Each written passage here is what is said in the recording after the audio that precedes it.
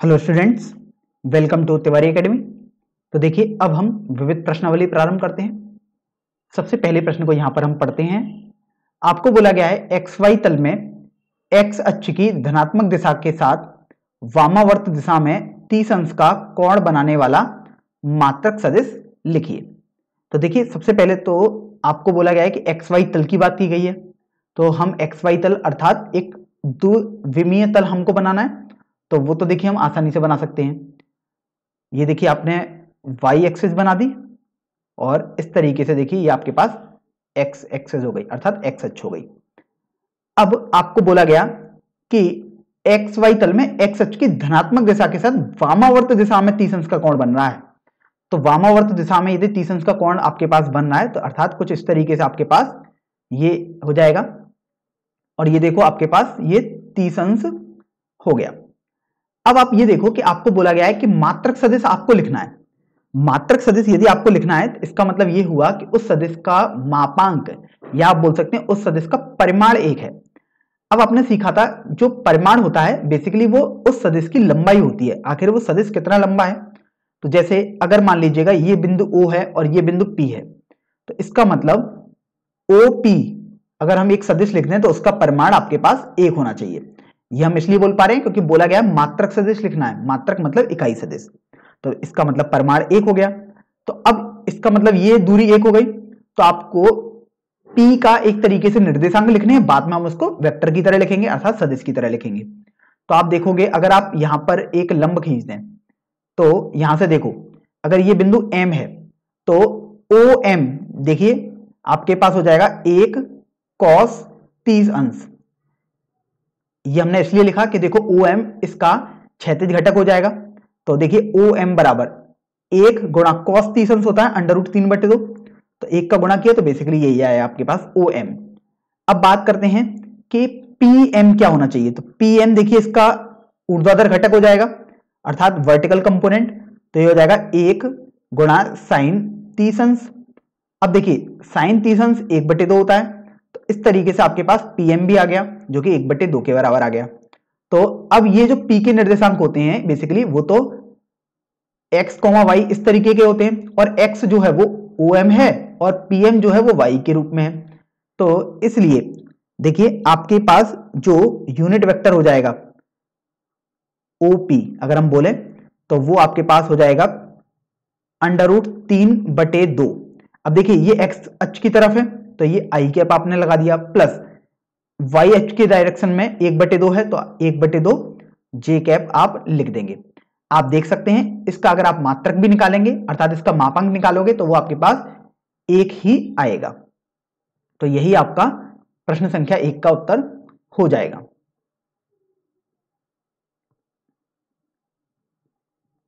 चलिए, अब हम प्रश्न संख्या दो पर आ जाते हैं।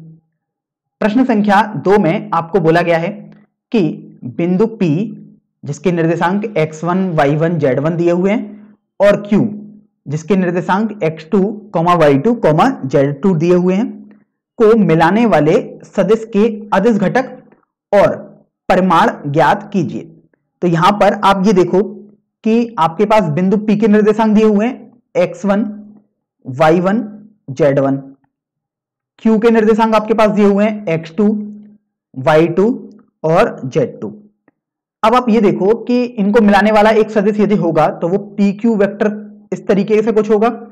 अब देखिए, कुछ छात्र ये भी बोलेंगे, सर पी क्यू क्यों? हम तो क्यूपी भी बोल सकते हैं। तो हाँ बिल्कुल क्यूपी बोल सकते हैं।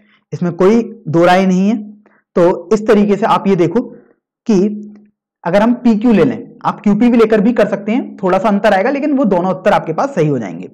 तो हमने सीखा था पी क्यू वैक्टर अगर आपको लिखना है तो लिखोगे क्यू के स्थिति सदिश माइनस पी का स्थिति सदिश।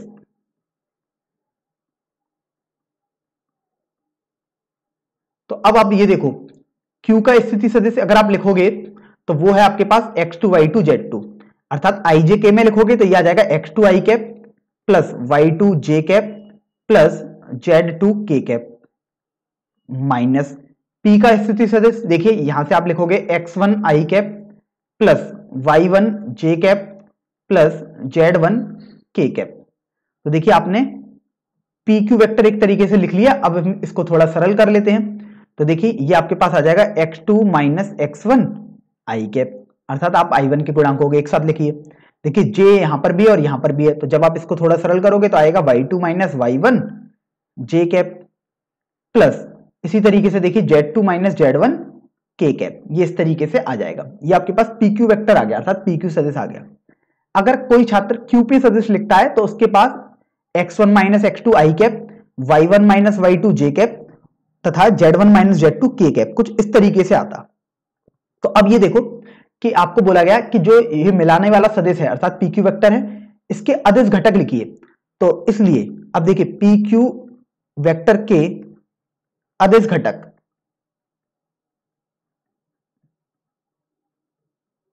अब देखते हैं अदिश घटक क्या होते हैं। तो देखिए, जो आई जे तथा के के गुणांक होते हैं, उन्हीं को हम अदिश घटक बोलते हैं, क्योंकि आप जानते हैं अदिश का मतलब तो ये है कि जिसकी डायरेक्शन ना हो, जिसकी दिशा ना हो, केवल परिमाण हो। तो घटक मतलब ये आई का गुणांक जे का गुणांक और के का गुणांक।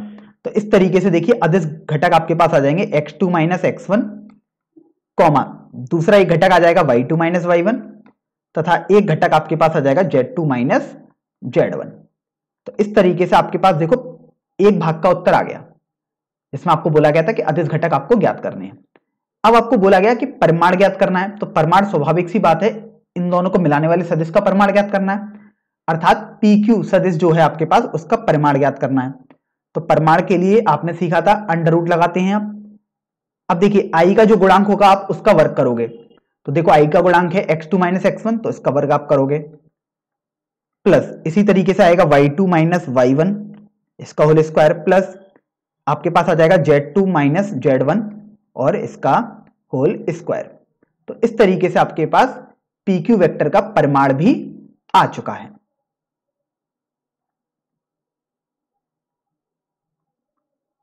अब देखिए, हम प्रश्न संख्या तीन पर आ जाते हैं। प्रश्न संख्या तीन में आपको बोला गया है कि एक लड़की पश्चिम दिशा में चार किलोमीटर चलती है। उसके पश्चात वह उत्तर से तीस अंश पश्चिम की दिशा में तीन किलोमीटर चलती है और रुक जाती है। प्रस्थान के प्रारंभिक बिंदु से लड़की का विस्थापन ज्ञात कीजिए। तो यहाँ पर आप ये देखो कि हम एक एक भाग का, अर्थात एक एक लाइन जो लिखी हुई है एक एक करके उसको समझते हैं और इसको ड्रॉ करते रहेंगे। तो आपको बोला गया है कि लड़की पश्चिम दिशा में चार किलोमीटर चलती है। तो मान लीजिएगा कि लड़की का प्रारंभिक बिंदु ये है बिंदु ओ अब पश्चिम दिशा में चार किलोमीटर चल रही है। इसका मतलब ये हुआ कि लड़की पश्चिम दिशा में मतलब बाई ओर चलेगी, क्योंकि पश्चिम दिशा बाई ओर होती है। और ये आपके पास चार किलोमीटर हो गया, अगर आप ये दूरी देखें। मान लीजिएगा वो बिंदु ए पर पहुँच गई। फिर बोला गया कि इसके पश्चात वह उत्तर से तीस अंश पश्चिम की दिशा में तो अगर आप देखें, इस बिंदु पर अगर हम गौर करें तो उत्तर से तीस अंश पश्चिम की दिशा में तो सबसे पहले मैं बिंदु ए पर चारों दिशाएँ बना लेता हूँ। तो देखो, ये आपके पास हो जाएगी। ऊपर उत्तर हो गई, नीचे दक्षिण हो गई, दाएँ आपके पास, पूर्व हो गई और बाएँ आपके पास, देखो ये पश्चिम आ गई। अब ये देखो, मैंने बिंदु ए पर बनाया है। वैसे बनाने की ऐसे कोई नहीं है, प्रश्न में नहीं बोला गया बनाने को, लेकिन हम अपनी समझने के लिए बना रहे हैं। फिर आपको बोला गया कि उत्तर से तीस अंश पश्चिम की दिशा में। तो देखो, उत्तर से करना है पश्चिम की दिशा में। उत्तर यहाँ पर है नॉर्थ पश्चिम यहाँ पर है डब्ल्यू मैं ए बिंदु के लिए बना रहा हूँ। तो तीस अंश पश्चिम की दिशा में उत्तर से मतलब कुछ इस तरीके से आपके पास आएगा। तो ये देखो बेसिकली आपके पास कुछ इस तरीके से ये आ जाएगा। और अब आपके पास देखो, ये तीस अंश बेसिकली बन गया है। तीन किलोमीटर चलती है तो इसका मतलब अगर आप मान लीजिएगा बिंदु पी पर पहुँच गए तो ये तीन किलोमीटर हो गया ए पी वेक्टर की लंबाई। फिर बोला गया है, प्रस्थान के प्रारंभिक बिंदु से लड़की का विस्थापन ज्ञात कीजिए। तो प्रस्थान के प्रारंभिक बिंदु अर्थात बिंदु ओ से लड़की का विस्थापन ज्ञात करना है, अर्थात आपको ओपी वेक्टर बेसिकली ज्ञात करना है।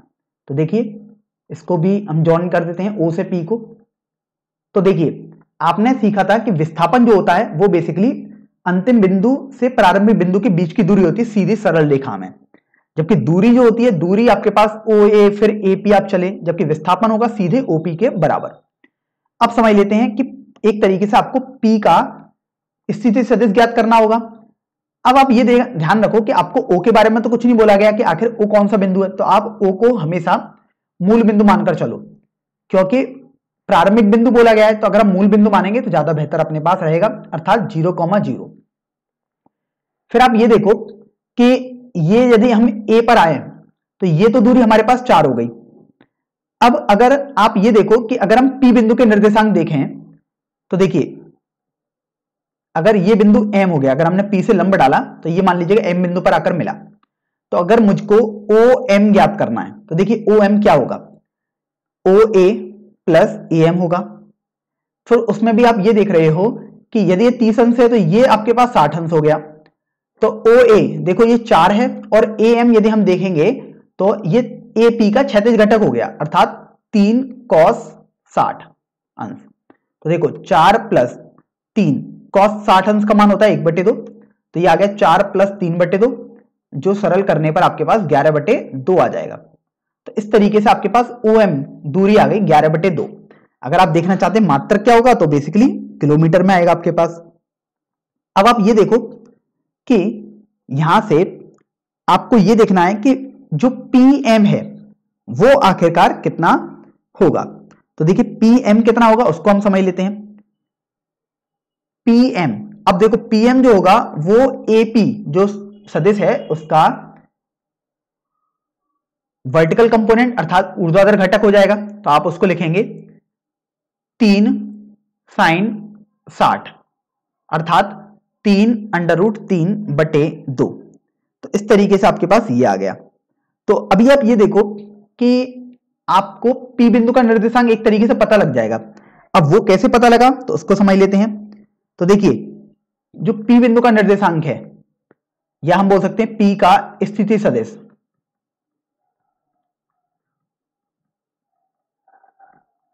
अब ये देखो पी का जो स्थिति सदिश है, अब आप ओ से बाई तरफ़ चले थे अर्थात माइनस एक्स अक्ष की डायरेक्शन में अगर आप देखें तो तो ये आ जाएगा माइनस ग्यारह बटे दो आई कैप प्लस इसी तरीके से देखो, ये वाई अक्ष में डायरेक्शन में हो जाएगा तो तीन अंडर रूट तीन बटे दो जे कैप तो इस तरीके से ये आपके पास पी का स्थिति सदिश आ जाएगा। अब आप ये देखो कि आपको तो बोला गया है कि आपको प्रस्थान के प्रारंभिक बिंदु से लड़की का विस्थापन ज्ञात करना है, अर्थात आपको तो ओपी वेक्टर एक तरीके से ज्ञात करना है। तो इसलिए देखिए ओपी वेक्टर ये आपके पास हो जाएगा पी का स्थिति सदिश माइनस ओ का स्थिति सदिश। अब चूँकि आप देखो ओ जो है, वो तो आपके पास मूल बिंदु है। इस तरीके से आप उसको हटा दीजिएगा, क्योंकि वो मूल बिंदु है, अर्थात ज़ीरो कॉमा ज़ीरो ही होगा। तो ये आ जाएगा माइनस ग्यारह बटे दो आई कैप प्लस तीन अंडर रूट तीन बटे दो जे कैप। माइनस ओ का स्थिति सदिश है zero I cap plus zero J cap, क्योंकि ज़ीरो कॉमा ज़ीरो था वो बिंदु। तो ये बेसिकली आपके पास वही आएगा, अर्थात माइनस ग्यारह बटे दो आई कैप प्लस तीन अंडर रूट तीन बटे दो जे कैप। और यही आपका ये उत्तर हो जाएगा। अब अगर आपको दूरी निकालनी है, विस्थापन में कितनी दूरी हुई बेसिकली तो इस तरीके से आप देखिए ओपी वेक्टर का परिमाण आपको निकालना होगा, क्योंकि दूरी मतलब उस वेक्टर की लंबाई कितनी है। तो देखिए, ये आपके पास आ जाएगा अंडर रूट के अंदर। माइनस ग्यारह बटे दो का होल स्क्वायर, अर्थात एक सौ इक्कीस बटे चार, प्लस तीन अंडर रूट तीन बटे दो का होल स्क्वायर, अर्थात सत्ताईस बटे चार। तो देखो, ये आपके पास आ गया अंडर रूट में एक सौ अट्ठाईस बटे चार। जब आप इसको हल करोगे तो ये आ गया आपके पास बत्तीस। अर्थात चार अंडर रूट दो। और मात्रक अगर लिखना चाहते हो तो इकाई करके आप लिख सकते हो। तो अगर आपको वेक्टर लिखना है कि वो क्या वेक्टर होना चाहिए, विस्थापन वेक्टर या विस्थापन सदिश तो ये आ जाएगा माइनस ग्यारह बटे दो आई कैप प्लस तीन अंडर रूट तीन बटे दो जे कैप और यदि आपको इसकी दूरी लिखनी है तो वो आपके पास चार अंडर रूट दो इकाई हो जाएगी।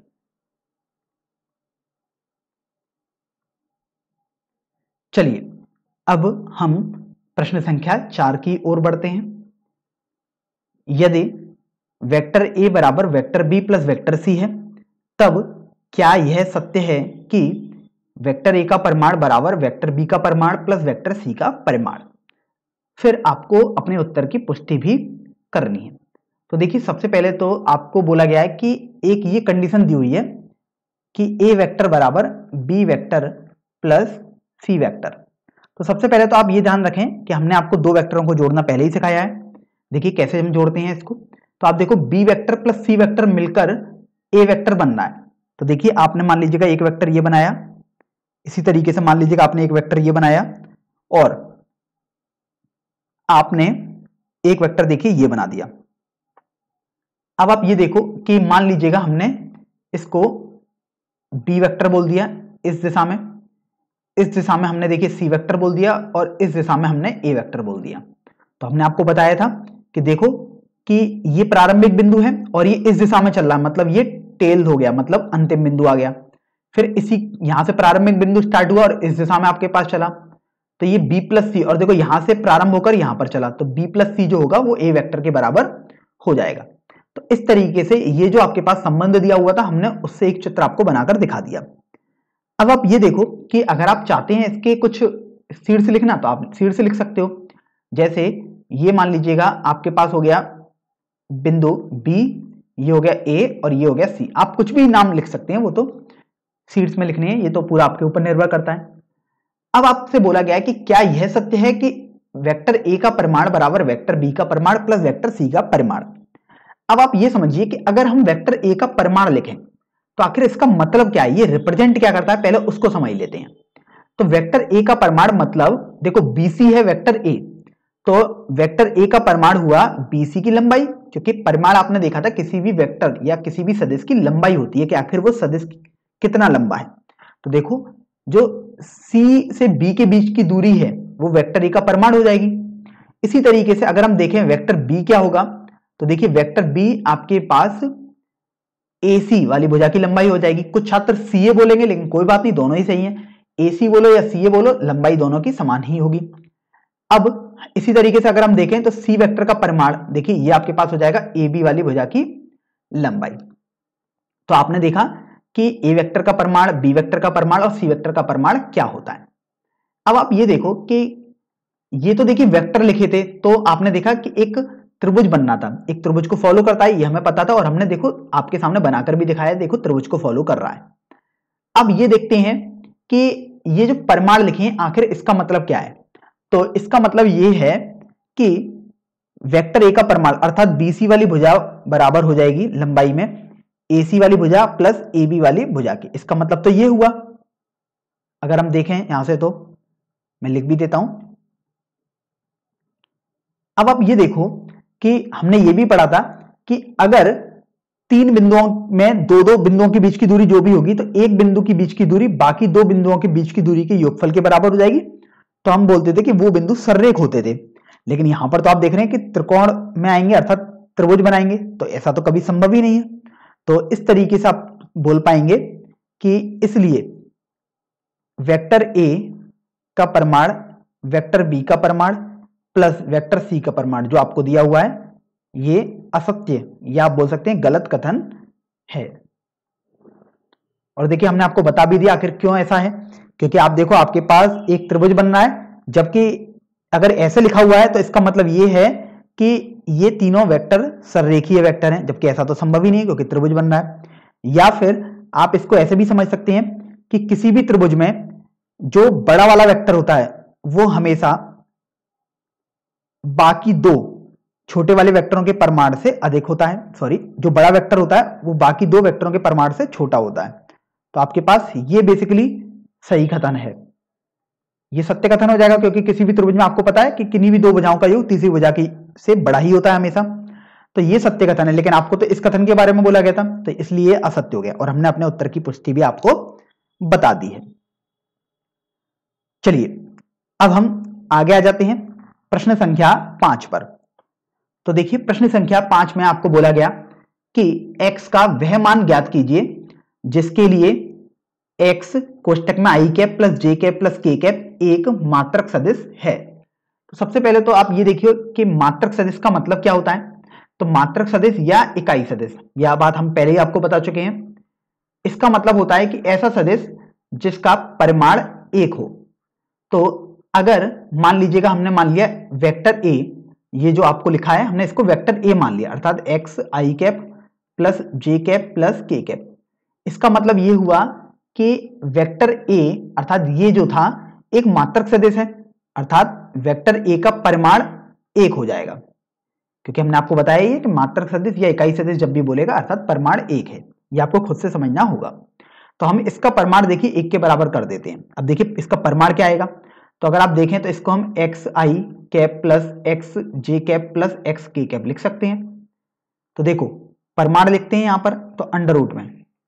आई कैप का गुणांक एक्स है तो एक्स का करेंगे X square plus J cap का गुणांक भी एक्स है तो इसका वर्क करेंगे, ये भी एक्स स्क्वायर आ गया। प्लस के कैप का गुणांक एक्स है तो इसका स्क्वायर करेंगे तो ये भी एक्स स्क्वायर आ गया, बराबर एक आ गया। तो इस तरीके से अंडर रूट में। देखो, ये तीन एक्स स्क्वायर आ गया और ये एक के बराबर आ गया। तो अब आप देखो कि आपको तो एक्स का मान चाहिए, लेकिन ये तो अंडर रूट में आ रहा है। तो अब आप दोनों तरफ़ वर्क कर दो तो तीन एक्स स्क्वायर बराबर आपके पास एक आ जाएगा। तो एक्स स्क्वायर बराबर एक बटे तीन आ जाएगा। अब चूँकि आपको तो एक्स का मान चाहिए तो इस तरीके से आपके पास एक्स का मान एक बटे अंडर रूट तीन। और देखो स्क्वायर था एक्स का और वो एक बटे तीन के बराबर था एक्स का मान निकालोगे तो प्लस माइनस आएगा। तो यहाँ से आपको एक्स का मान आ गया। एक्स बराबर प्लस माइनस एक बटे अंडर रूट तीन। होना चाहिए।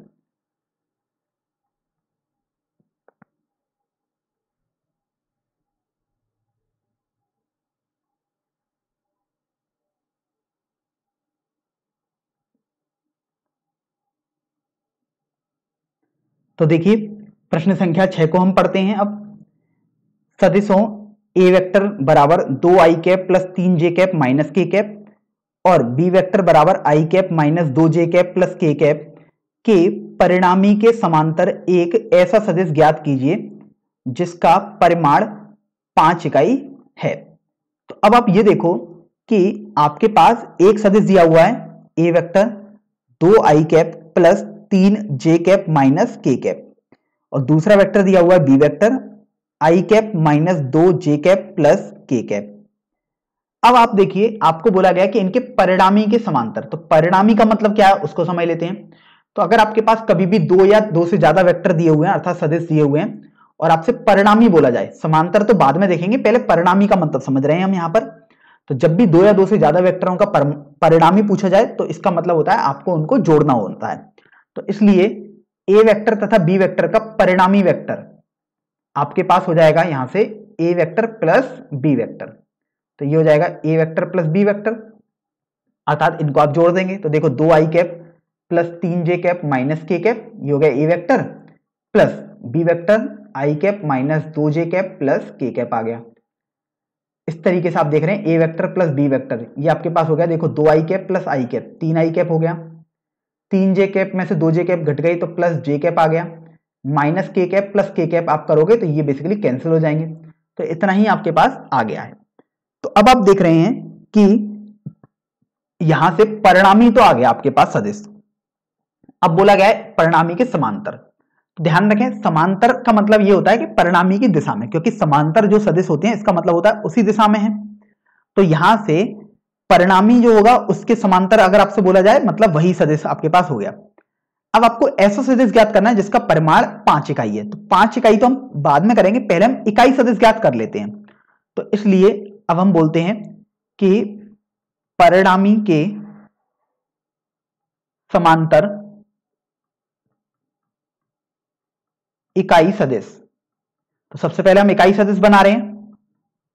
अब देखो, परिणामी के समांतर मतलब परिणामी सदिश, ये हम आपको पहले बता चुके हैं। बस हमें इकाई सदिश बनाना है। तो तीन आई प्लस जे का इकाई सदिश देखिए आपके पास हो जाएगा।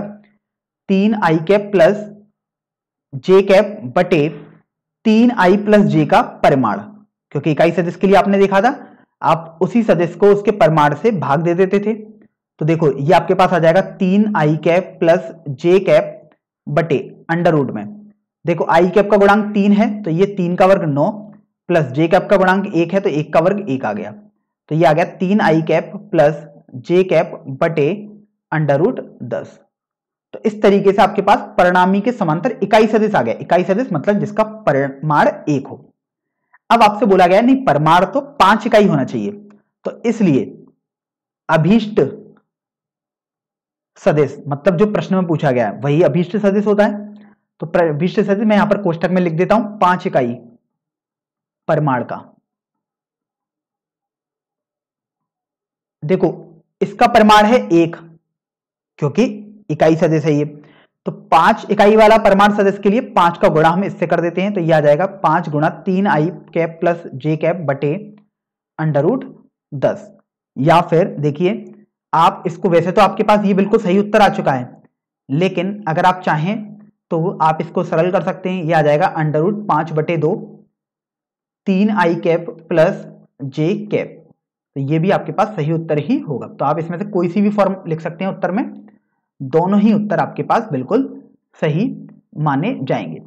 अब यहाँ पर कुछ छात्रों को संदेह हो सकता है कि आखिर हमने दूसरा उत्तर कैसे लिख दिया? तो देखिए, मैं यहाँ पर शॉर्ट में आपको रफ में करके दिखा देता हूँ। पाँच बटे अंडर रूट दस है तो अंडर रूट दो इंटू अंडर रूट पाँच लिखा हमने। ये तीन I cap plus J cap है। तो देखो, अंडर रूट पाँच से ये पाँच, अंडर रूट पाँच बार कट गया। तो इसलिए हमने यहाँ पर देखो, अंडर रूट पाँच बटे दो, तीन I cap plus J cap करके लिख दिया है। तो इस तरीके से हमने यहाँ पर लिखा है। तो आप कोई सा भी उत्तर अपने लिए दे सकते थे। चलिए, अब हम अगले प्रश्न पर आ जाते हैं, अर्थात प्रश्न संख्या सात पर। तो देखिए, प्रश्न संख्या सात में आपको दिया है कि यदि ए वेक्टर बराबर I cap plus J cap plus K cap और बी वेक्टर बराबर दो I cap minus J cap plus तीन के कैप तथा सी वेक्टर बराबर आई कैप माइनस दो J cap plus K cap तो सदिश दो A vector minus B vector plus तीन सी वेक्टर के समांतर एक मात्रक सदिश ज्ञात कीजिए। तो सबसे पहले तो आप ये देखिए, आपके पास जो ए वेक्टर दिया हुआ है, वो है I cap plus J cap plus K cap B vector दिया हुआ है, दो I cap minus J cap plus तीन के कैप सी वेक्टर दिया हुआ है आई कैप माइनस दो J cap plus K cap फिर आपको बोला गया है कि ये तीन सदस्य तो आपको दिए हुए थे। आपको दो ए माइनस तीन बी प्लस सी तो यहाँ पर मैं लिख देता हूँ दो ए माइनस बी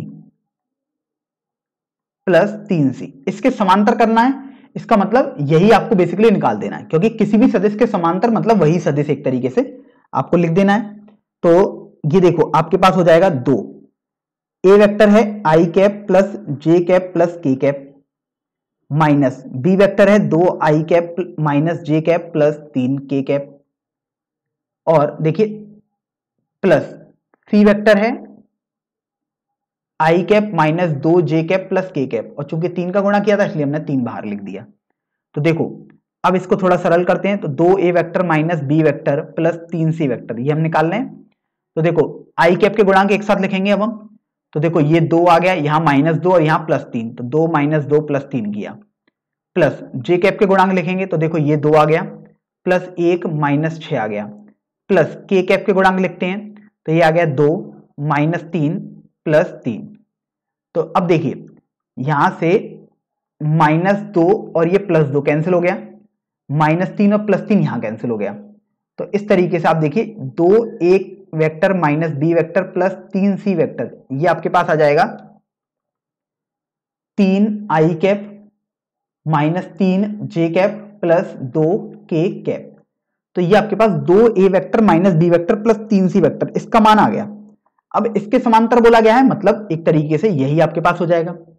अब बोला गया कि आपको इसके समांतर एक मात्रक सदिश चाहिए तो इसलिए अभीष्ट मात्रक सदिश। तो अभीष्ट मात्रक सदिश देखिए, तीन आई कैप माइनस तीन जे कैप प्लस दो के कैप बटे इसका परिमाण हो जाएगा। तो मैं अभी इसके अंदर लिख देता हूँ। इस चिन्ह के अंदर तीन आई कैप माइनस तीन जे कैप प्लस दो के कैप। तो देखिए, अब थोड़ा इसको सरल कर लेते हैं। तो जो अंश में लिखा है, उसको तो आप ऐसे लिख दीजिएगा। तीन आई कैप माइनस तीन जे कैप प्लस दो के कैप बटे। अब देखो, परमाण निकालने हैं तो अंडर रूट तीन का वर्ग, देखिए, नौ आ गया। प्लस माइनस तीन का वर्ग, ये भी नौ आएगा। प्लस दो का वर्ग आपके पास चार आ गया। तो इस तरीके से देखो, ये आपके पास आ गया तीन आई कैप माइनस तीन जे कैप प्लस दो के कैप बटे, देखो, ये आपके पास अंडर रूट में बाईस आ जाएगा। तो यही आपके पास अभीष्ट उत्तर हो जाएगा।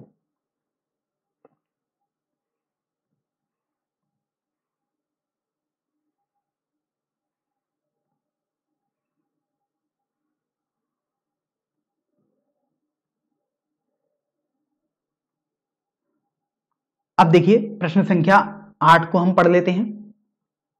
दर्शाइए कि बिंदु ए एक कॉमा माइनस दो कॉमा माइनस आठ, बिंदु बी पाँच कॉमा ज़ीरो कॉमा माइनस दो, और बिंदु सी ग्यारह कॉमा तीन कॉमा सात सर्रेख हैं।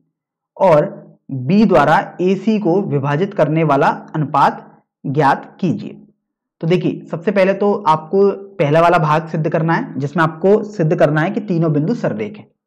तो देखिए, ये आपके पास बिंदु दिए हुए हैं। जैसे मान लीजिएगा, ये बिंदु ए है। एक कॉमा माइनस दो कॉमा माइनस आठ। इसी तरीके से मान लीजिएगा, ये बिंदु कहीं भी बी है। पाँच कॉमा ज़ीरो कॉमा माइनस दो। और ये बिंदु सी है, ग्यारह कॉमा तीन कॉमा सात। एक्चुअल में आपको नहीं पता कि ये कहाँ पर है, लेकिन बस आपने इस तरीके से मान लिया। आपने सर्रेख माना तो आपने सर्रेख की कंडीशन पहले ही आपको पता है कि किन्हीं भी दो बिंदुओं के बीच की दूरी, बाकी दो बिंदुओं के बीच की दूरी के योगफल के बराबर आ जाएगी। तो सबसे पहले आप ए बी वेक्टर निकाल लो, या हम ए और बी के बीच की दूरी निकाल लें। तो ए और बी के बीच की दूरी देखिए, आपके पास आ जाएगी पाँच माइनस एक का whole square plus zero plus दो का होल स्क्वायर प्लस माइनस दो प्लस आठ का होल स्क्वायर। तो देखिए जब आप इसको सरल करोगे तो ये आ जाएगा आपके पास पाँच माइनस एक का होल स्क्वायर अर्थात चार का होल स्क्वायर मतलब सोलह ज़ीरो प्लस दो का होल स्क्वायर अर्थात दो का होल स्क्वायर अर्थात चार। और देखो आठ माइनस दो अर्थात छह का होल स्क्वायर तो ये छत्तीस आ गया। तो इस तरीके से आप देखो, ये आपके पास अंडर रूट छप्पन हो जाएगा। अब आप आगे देखोगे तो आप बीसी निकाल लो अब तो बीसी अब देखिए अंडर रूट। बीसी निकालेंगे तो ये आ जाएगा ग्यारह माइनस पाँच का होल स्क्वायर।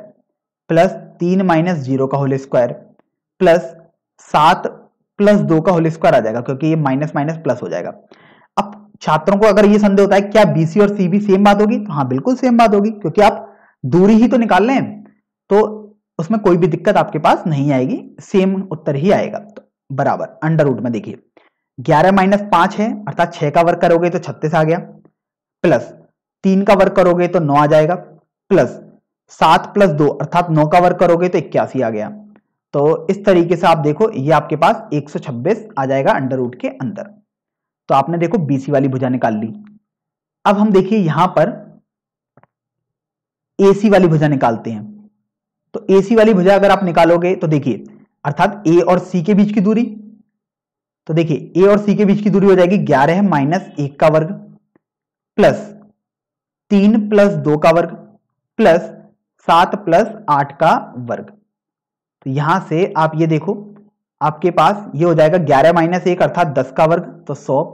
तीन प्लस दो अर्थात पाँच का वर्ग पच्चीस, प्लस आठ और सात पंद्रह का वर्ग दो सौ पच्चीस। तो देखिए, ये आपके पास आ गया अंडर रूट में तीन सौ पचास। क्योंकि आप देखो दो सौ पच्चीस और पच्चीस दो सौ पचास हो गया, और सौ आपने उसमें जोड़ा तो आपके पास ये अंडर रूट में तीन सौ पचास आ गया है।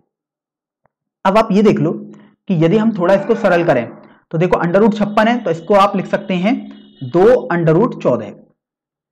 इस तरीके से आप देखो अंडर रूट एक सौ छब्बीस को लिख सकते हो, तीन अंडर रूट चौदह। और अंडर तीन को आप लिख सकते हो पाँच अंडर रूट चौदह। आप इसको तो आसानी से लिख ही सकते हैं, क्योंकि अगर आप देखोगे छप्पन होता है चार गुणा चौदह तो चार का वर्गमूल दो हो गया, चौदह आपने ऐसे रहने दिया, क्योंकि चौदह का वर्गमूल आप नहीं कर सकते। इसी तरीके से आपने सबको कर लिया। तो अब आप देख रहे हैं कि चूँकि दो अंडर रूट चौदह, ये वाली भुजा, प्लस तीन अंडर रूट चौदह मिलाकर पाँच अंडर रूट चौदह हो रहा है।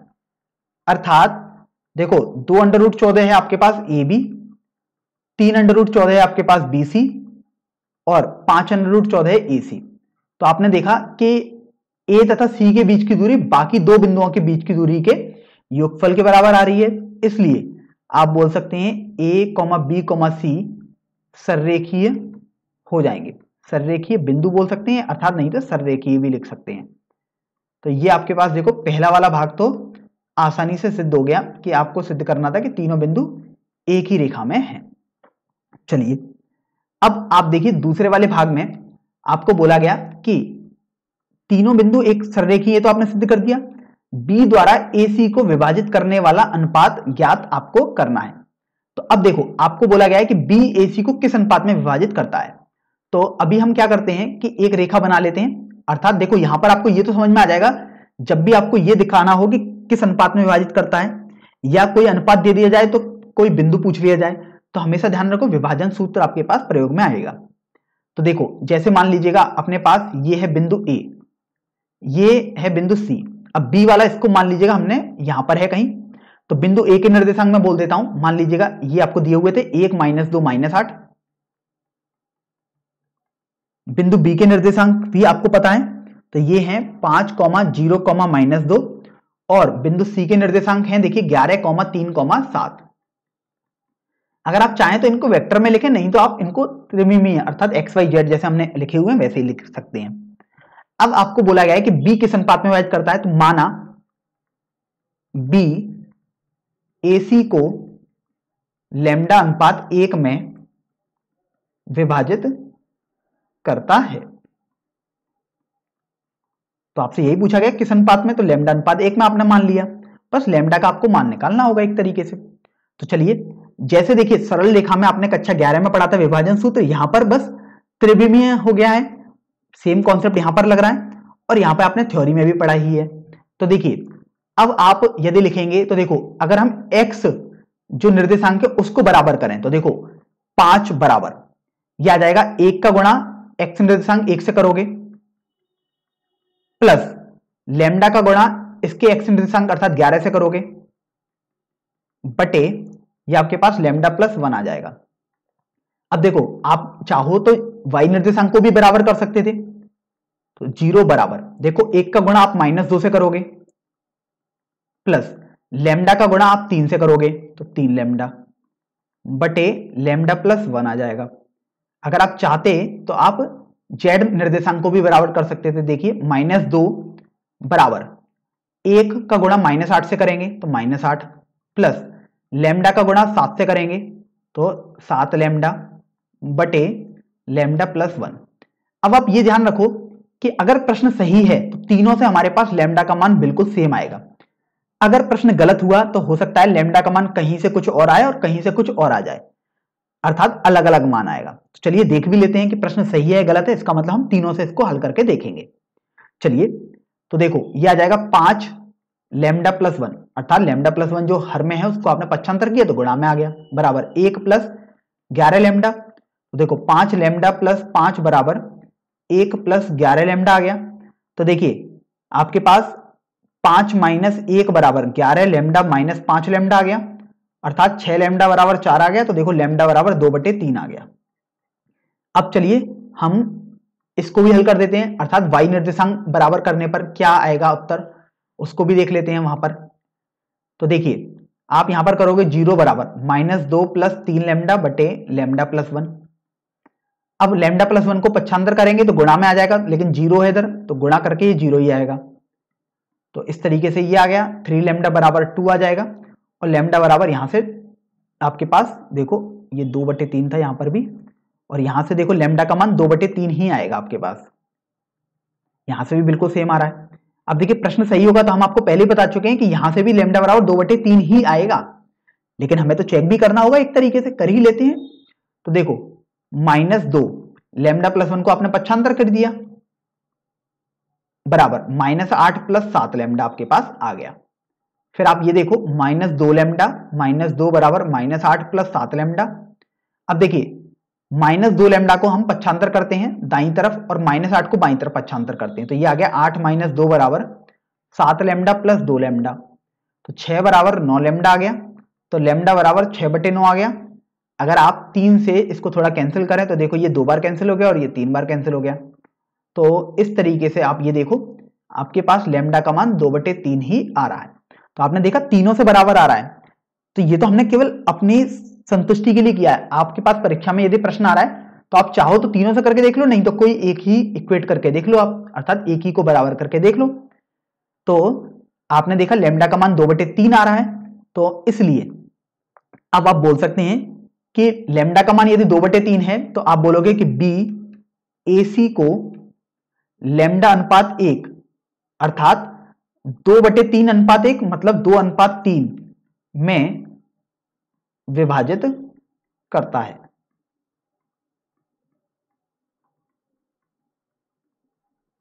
तो यहाँ से आपका यह प्रश्न भी हल हो गया है। बस अब आप देखो एक बात पर यह गौर करो कि देखिए, आपसे बोला गया कि ये पहले बोल दिया गया था कि आपको यह सिद्ध करना है कि ये सररेखी है।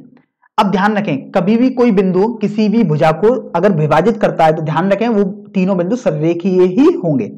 जैसे आपने देखा कि अगर हम पहले वाले भाग को स्टार्टिंग में हल ना करके केवल ये निकाल देते कि वो दो अनुपात तीन में विभाजित करता है तो हम यहाँ से भी डायरेक्ट बोल सकते थे कि ये तीनों बिंदु सररेखीय होंगे।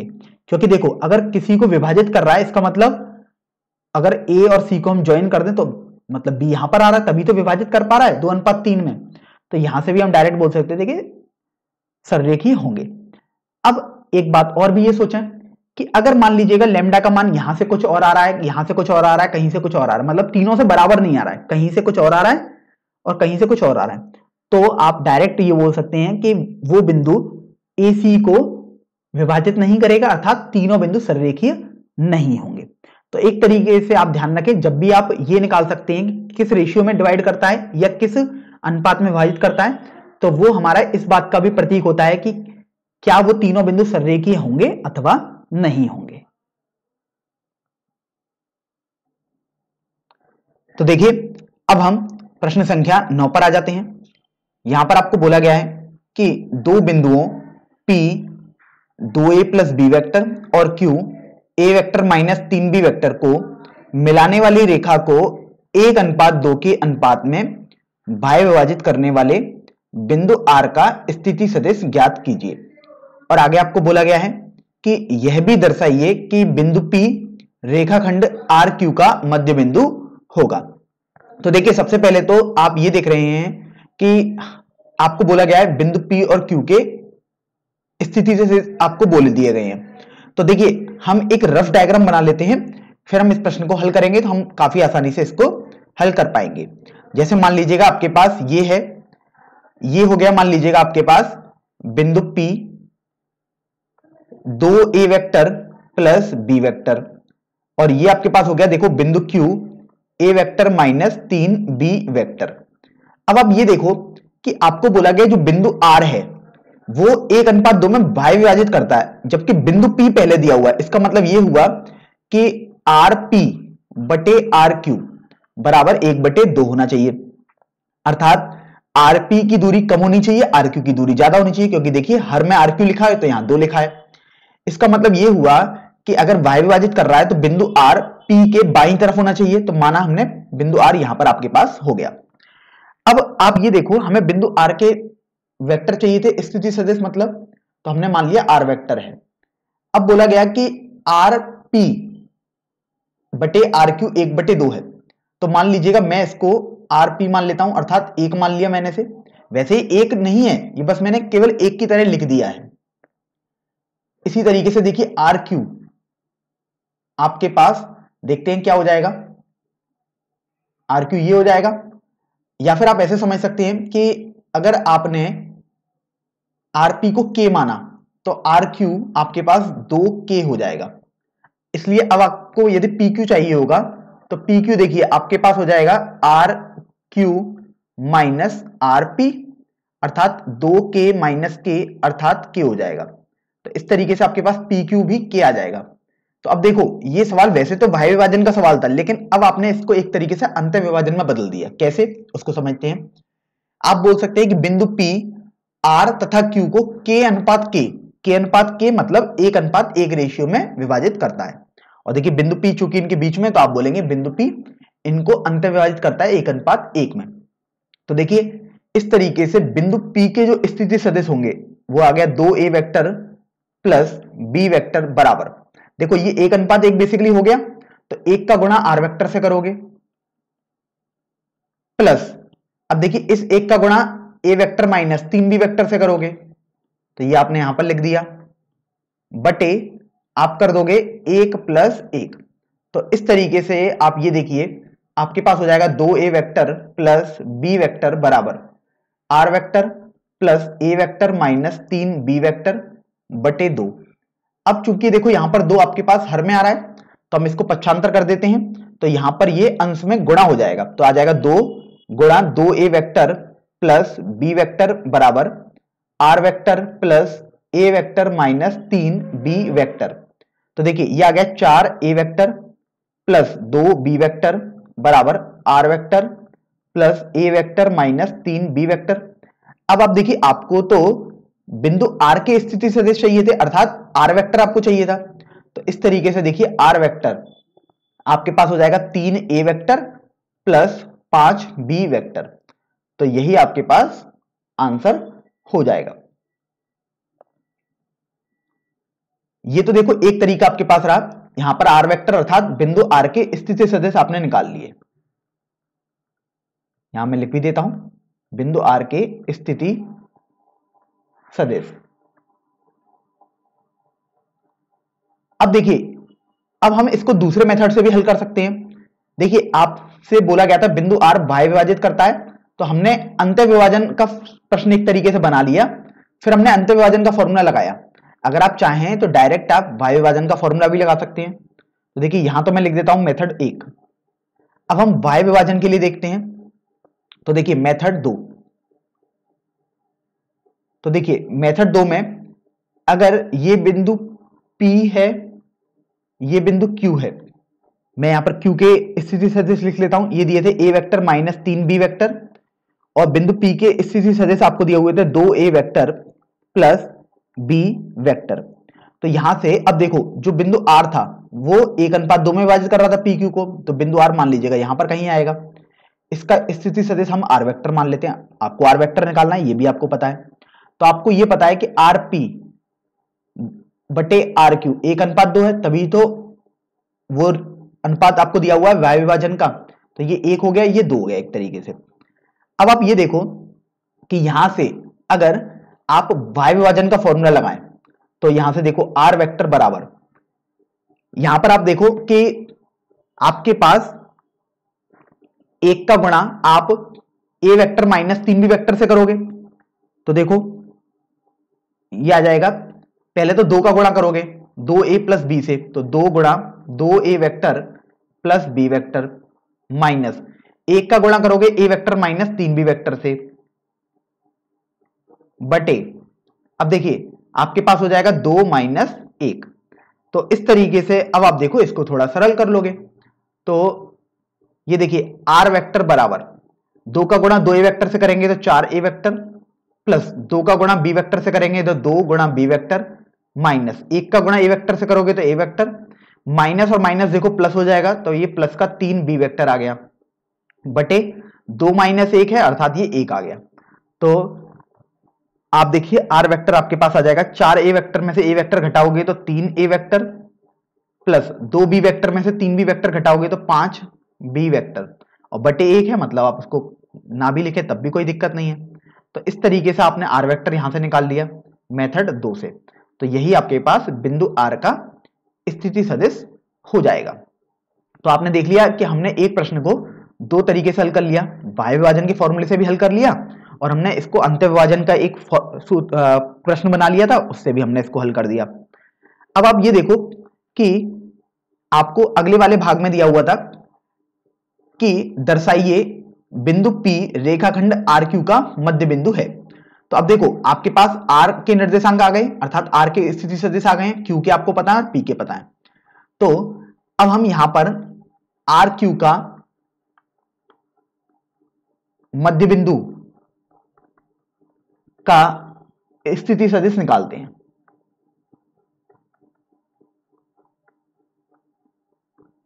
तो अब वो देखिए क्या आएगा।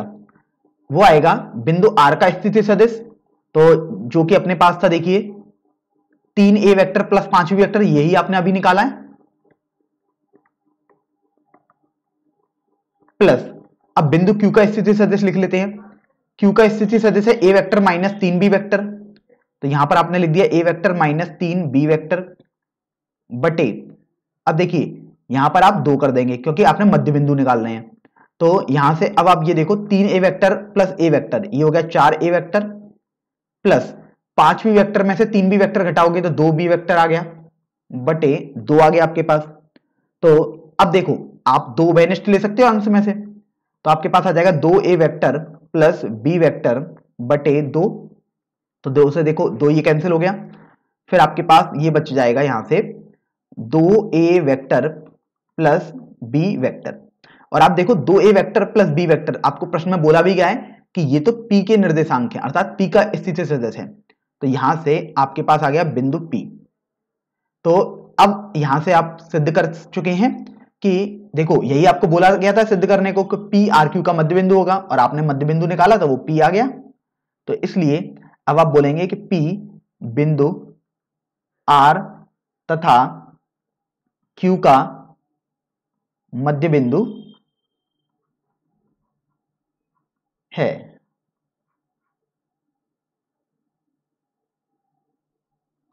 अब देखिए, हम अगले प्रश्न पर आ जाते हैं, अर्थात प्रश्न संख्या 10 पर।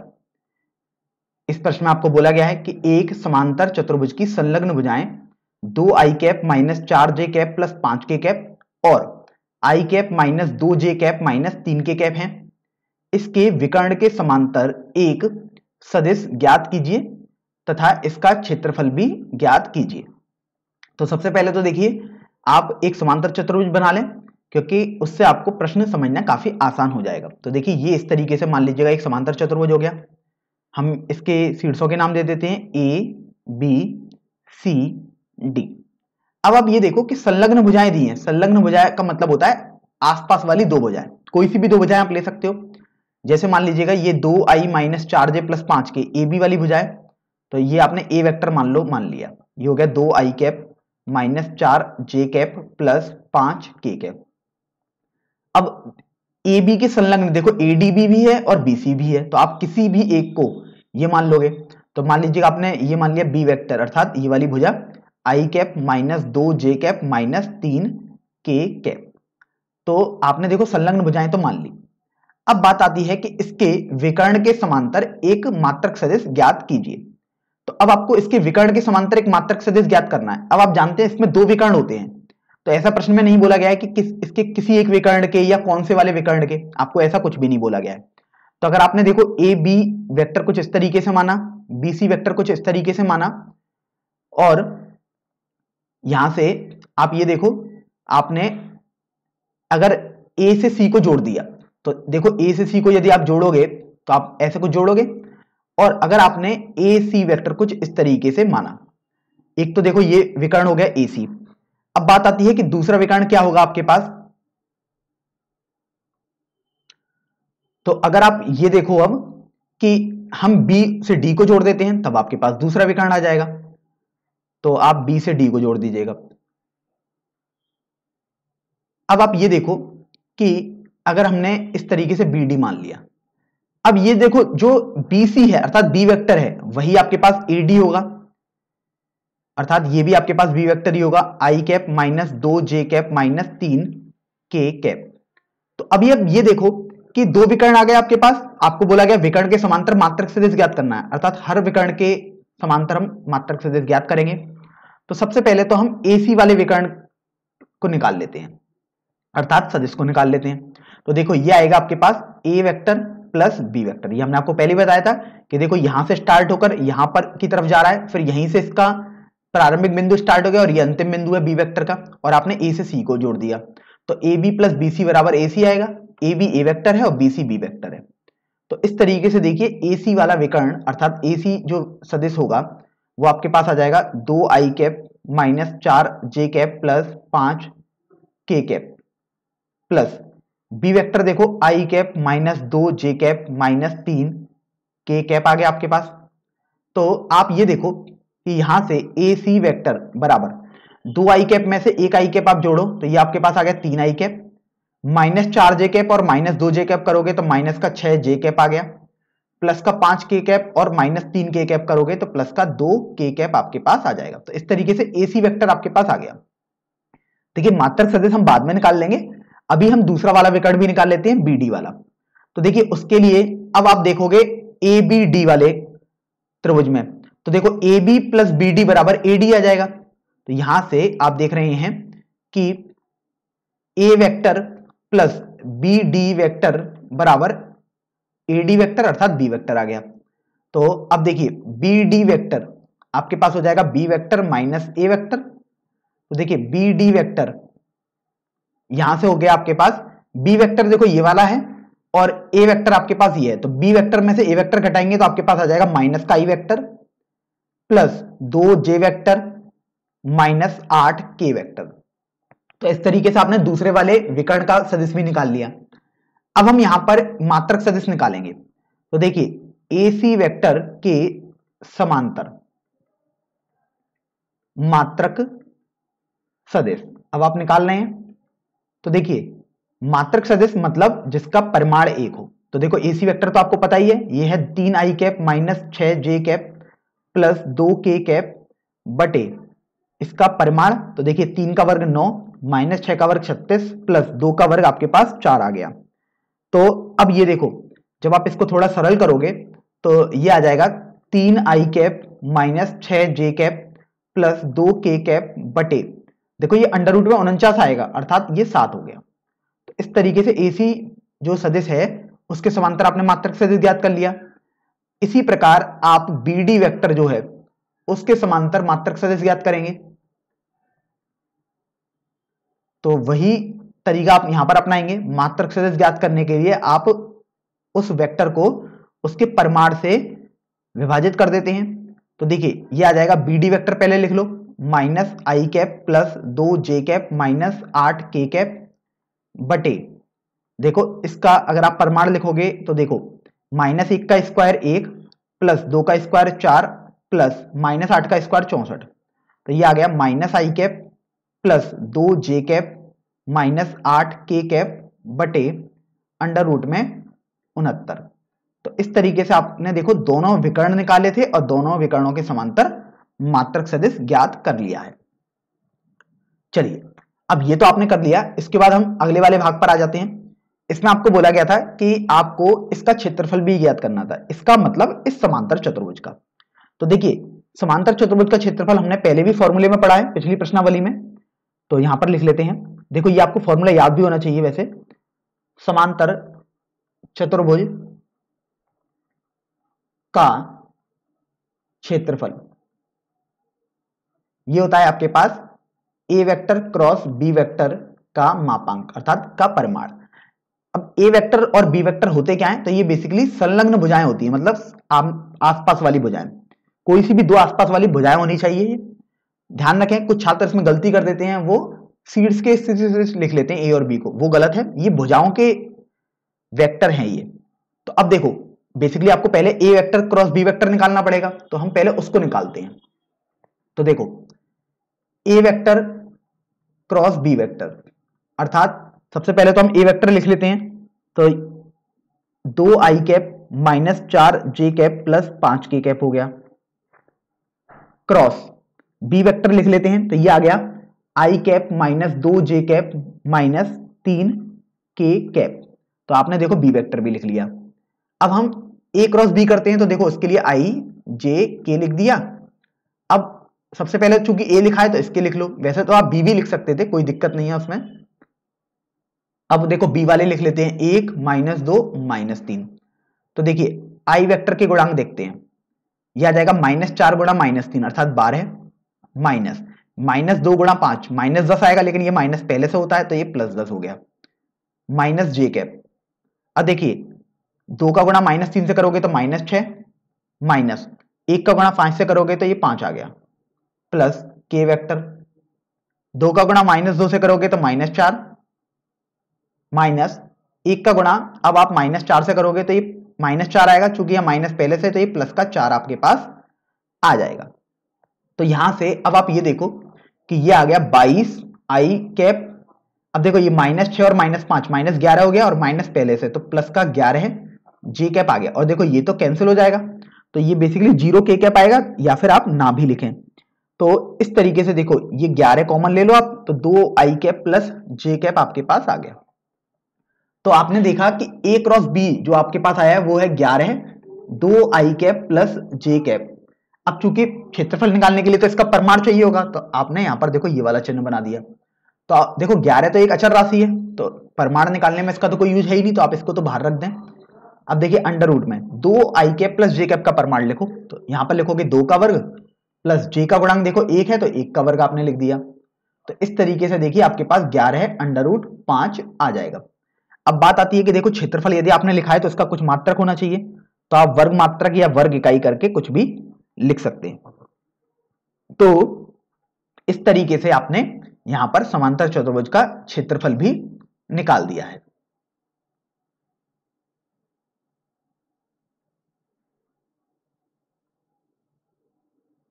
अब देखिए, ग्यारहवें प्रश्न पर हम आते हैं। आपको बोला गया कि दर्शाइए कि ओ एक्स ओ वाई एवं ओ जेड अक्षों के साथ बराबर झुके हुए सदस्य की द्विक कोसाइन कोज्याएँ, एक बटे अंडर रूट तीन, कौमा एक बटे अंडर रूट तीन, कौमा एक बटे अंडर रूट तीन होंगी। तो सबसे पहले तो देखिए हम कॉन्सेप्ट समझ लेते हैं कि देखिए यहाँ पर सबसे पहले तो हम एक्स अक्ष वाई अक्ष और जेड अक्ष बना लेते हैं। तो ये देखिए एक्स अक्ष हो गया। ये इस तरीके से वाई अक्ष बना दिया। और इस तरीके से देखिए, ये अपने पास जेड अक्ष हो गया। इसका मतलब इसको हम ओ एक्स बोलेंगे, जो एक्स अक्ष है। वाई अक्ष को ओ वाई बोल सकते हैं और जेड अक्ष को ओ जेड बोल सकते हैं। अब ये देखिए कि अगर आपके पास कोई भी एक वेक्टर बना हुआ है, वेक्टर देखिए, कोई भी थ्री स्पेस में बना होगा तो मान लीजिएगा आपके पास ये एक वेक्टर बना हुआ है। तो अब आप ये देखो कि ये वेक्टर ओ एक्स अक्ष, या हम बोल सकते हैं एक्स अक्ष से कुछ ना कुछ कोण बना रहा होगा। तो मान लीजिएगा वो कोण एल्फा बना रहा है। ये मान लीजिएगा ओपी वेक्टर था अपने पास। ये वेक्टर देखिए वाई अक्ष, अर्थात ओ वाई अक्ष से भी कुछ ना कुछ कोण बना रहा होगा। तो मान लीजिएगा वो कोण बीटा बनाता है। और इसी प्रकार ये वेक्टर जेड अक्ष से भी कुछ ना कुछ कोण बना रहा होगा। तो ये आप देखोगे तो ये कोण आपके पास मान लीजिए गामा है। अर्थात ओ जेड से बनाया का कोण ओपी का गामा है। तो जब आपको कोण पता है उन अक्षों से झुके हुए तो यहाँ पर आप डायरेक्शन कोसाइन बोल सकते हैं। इसलिए डायरेक्शन कोसाइन डायरेक्शन कोसाइन जिसको हम हिंदी में द्विक कोसाइन या द्विक कोज्या बोलते हैं। ध्यान रखें, द्विक कोज्या, द्विक कोसाइन एक ही बात है, क्योंकि कोसाइन को हम हिंदी में कोज्या बोलते हैं। तो देखो, वो आपके पास होती है कॉस एल्फा कॉस बीटा और कॉस गामा अर्थात आपको ये समझ में आया कि यदि हमें कोण पता है तो हम डायरेक्शन क्वेश्चन निकाल सकते हैं, जो होते हैं कॉस एल्फा कॉस बीटा तथा कॉस गामा अब इसके बाद देखिए आपको एक और फॉर्मूला ध्यान रखना है। ध्यान रखें कि हमेशा cos square alpha plus cos square beta plus cos square gamma ये हमेशा एक होता है। इसको आप हमेशा कंटस्ट रखें, काफ़ी महत्वपूर्ण फॉर्मूला है आपके पास। तो ये बेसिकली आपके पास अभी तक हमने कॉन्सेप्ट बता दिया। अब हम इस प्रश्न पर आते हैं। इस प्रश्न में बोला गया कि वो वेक्टर तो ओ एक्स ओ वाई तथा ओ जेड के साथ बराबर झुका हुआ है। बराबर झुका हुआ है, इसका मतलब ये हुआ कि तीनों कोण बराबर हो गए, अर्थात एल्फा बीटा और गामा तीनों बराबर हो गए। तो इसलिए, अब देखो कॉस स्क्वायर एल्फा प्लस जो ये बीटा है, मैं इसको भी एल्फा ही बोल दू, क्योंकि सब हैं तो बराबर ही। और ये जो गामा है, इसको भी मैं अल्फ़ा बोल देता हूँ। तो ये भी आपके पास ही हो गया। तो मैं यहाँ पर लिख देता हूँ प्रश्नानुसार। कि प्रश्न में बोला गया है कि अल्फ़ा बीटा गामा बेसिकली बराबर है। तो यहाँ से अब आप ये देखो, ये आ जाएगा तीन कॉस स्क्वायर एल्फा बराबर एक एक आ गया। तो देखिए, तीन कॉस स्क्वायर एल्फा बराबर एक आया तो आपके पास कॉस स्क्वायर एल्फा बराबर एक बटे तीन आ जाएगा। तो इस तरीके से कॉस एल्फा बराबर प्लस माइनस एक बटे अंडर रूट तीन आ जाएगा। अब देखिए प्लस में भी आएगा और माइनस में भी आ जाएगा। अब लेकिन जो आपको प्रश्न में हल करना है, वो केवल धनात्मक दिए हुए हैं। इस बात का आप ध्यान रखें। तो इसलिए मैं यहाँ से बोल सकता हूँ कि कॉस एल्फा बराबर एक बटे अंडर रूट तीन, ये भी एक ना एक हल तो इसका होगा ही होगा। तो अब देखिए कॉस एल्फा आ गया। इसलिए अब आपको यदि द्विक को जाए लिखनी होंगी तो हमने देखा था वो cos alpha cos beta cos gamma था, लेकिन वो एल्फा बीटा गामा सब सेम थे। तो वो basically cos alpha cos alpha cos alpha हो जाएगा, अर्थात एक बटे अंडर रूट तीन कॉमा एक बटे अंडर रूट तीन। कॉमा एक बटे अंडर रूट तीन, ये आपके पास हो जाएगा। तो यही आपको इस प्रश्न में सिद्ध भी करना था।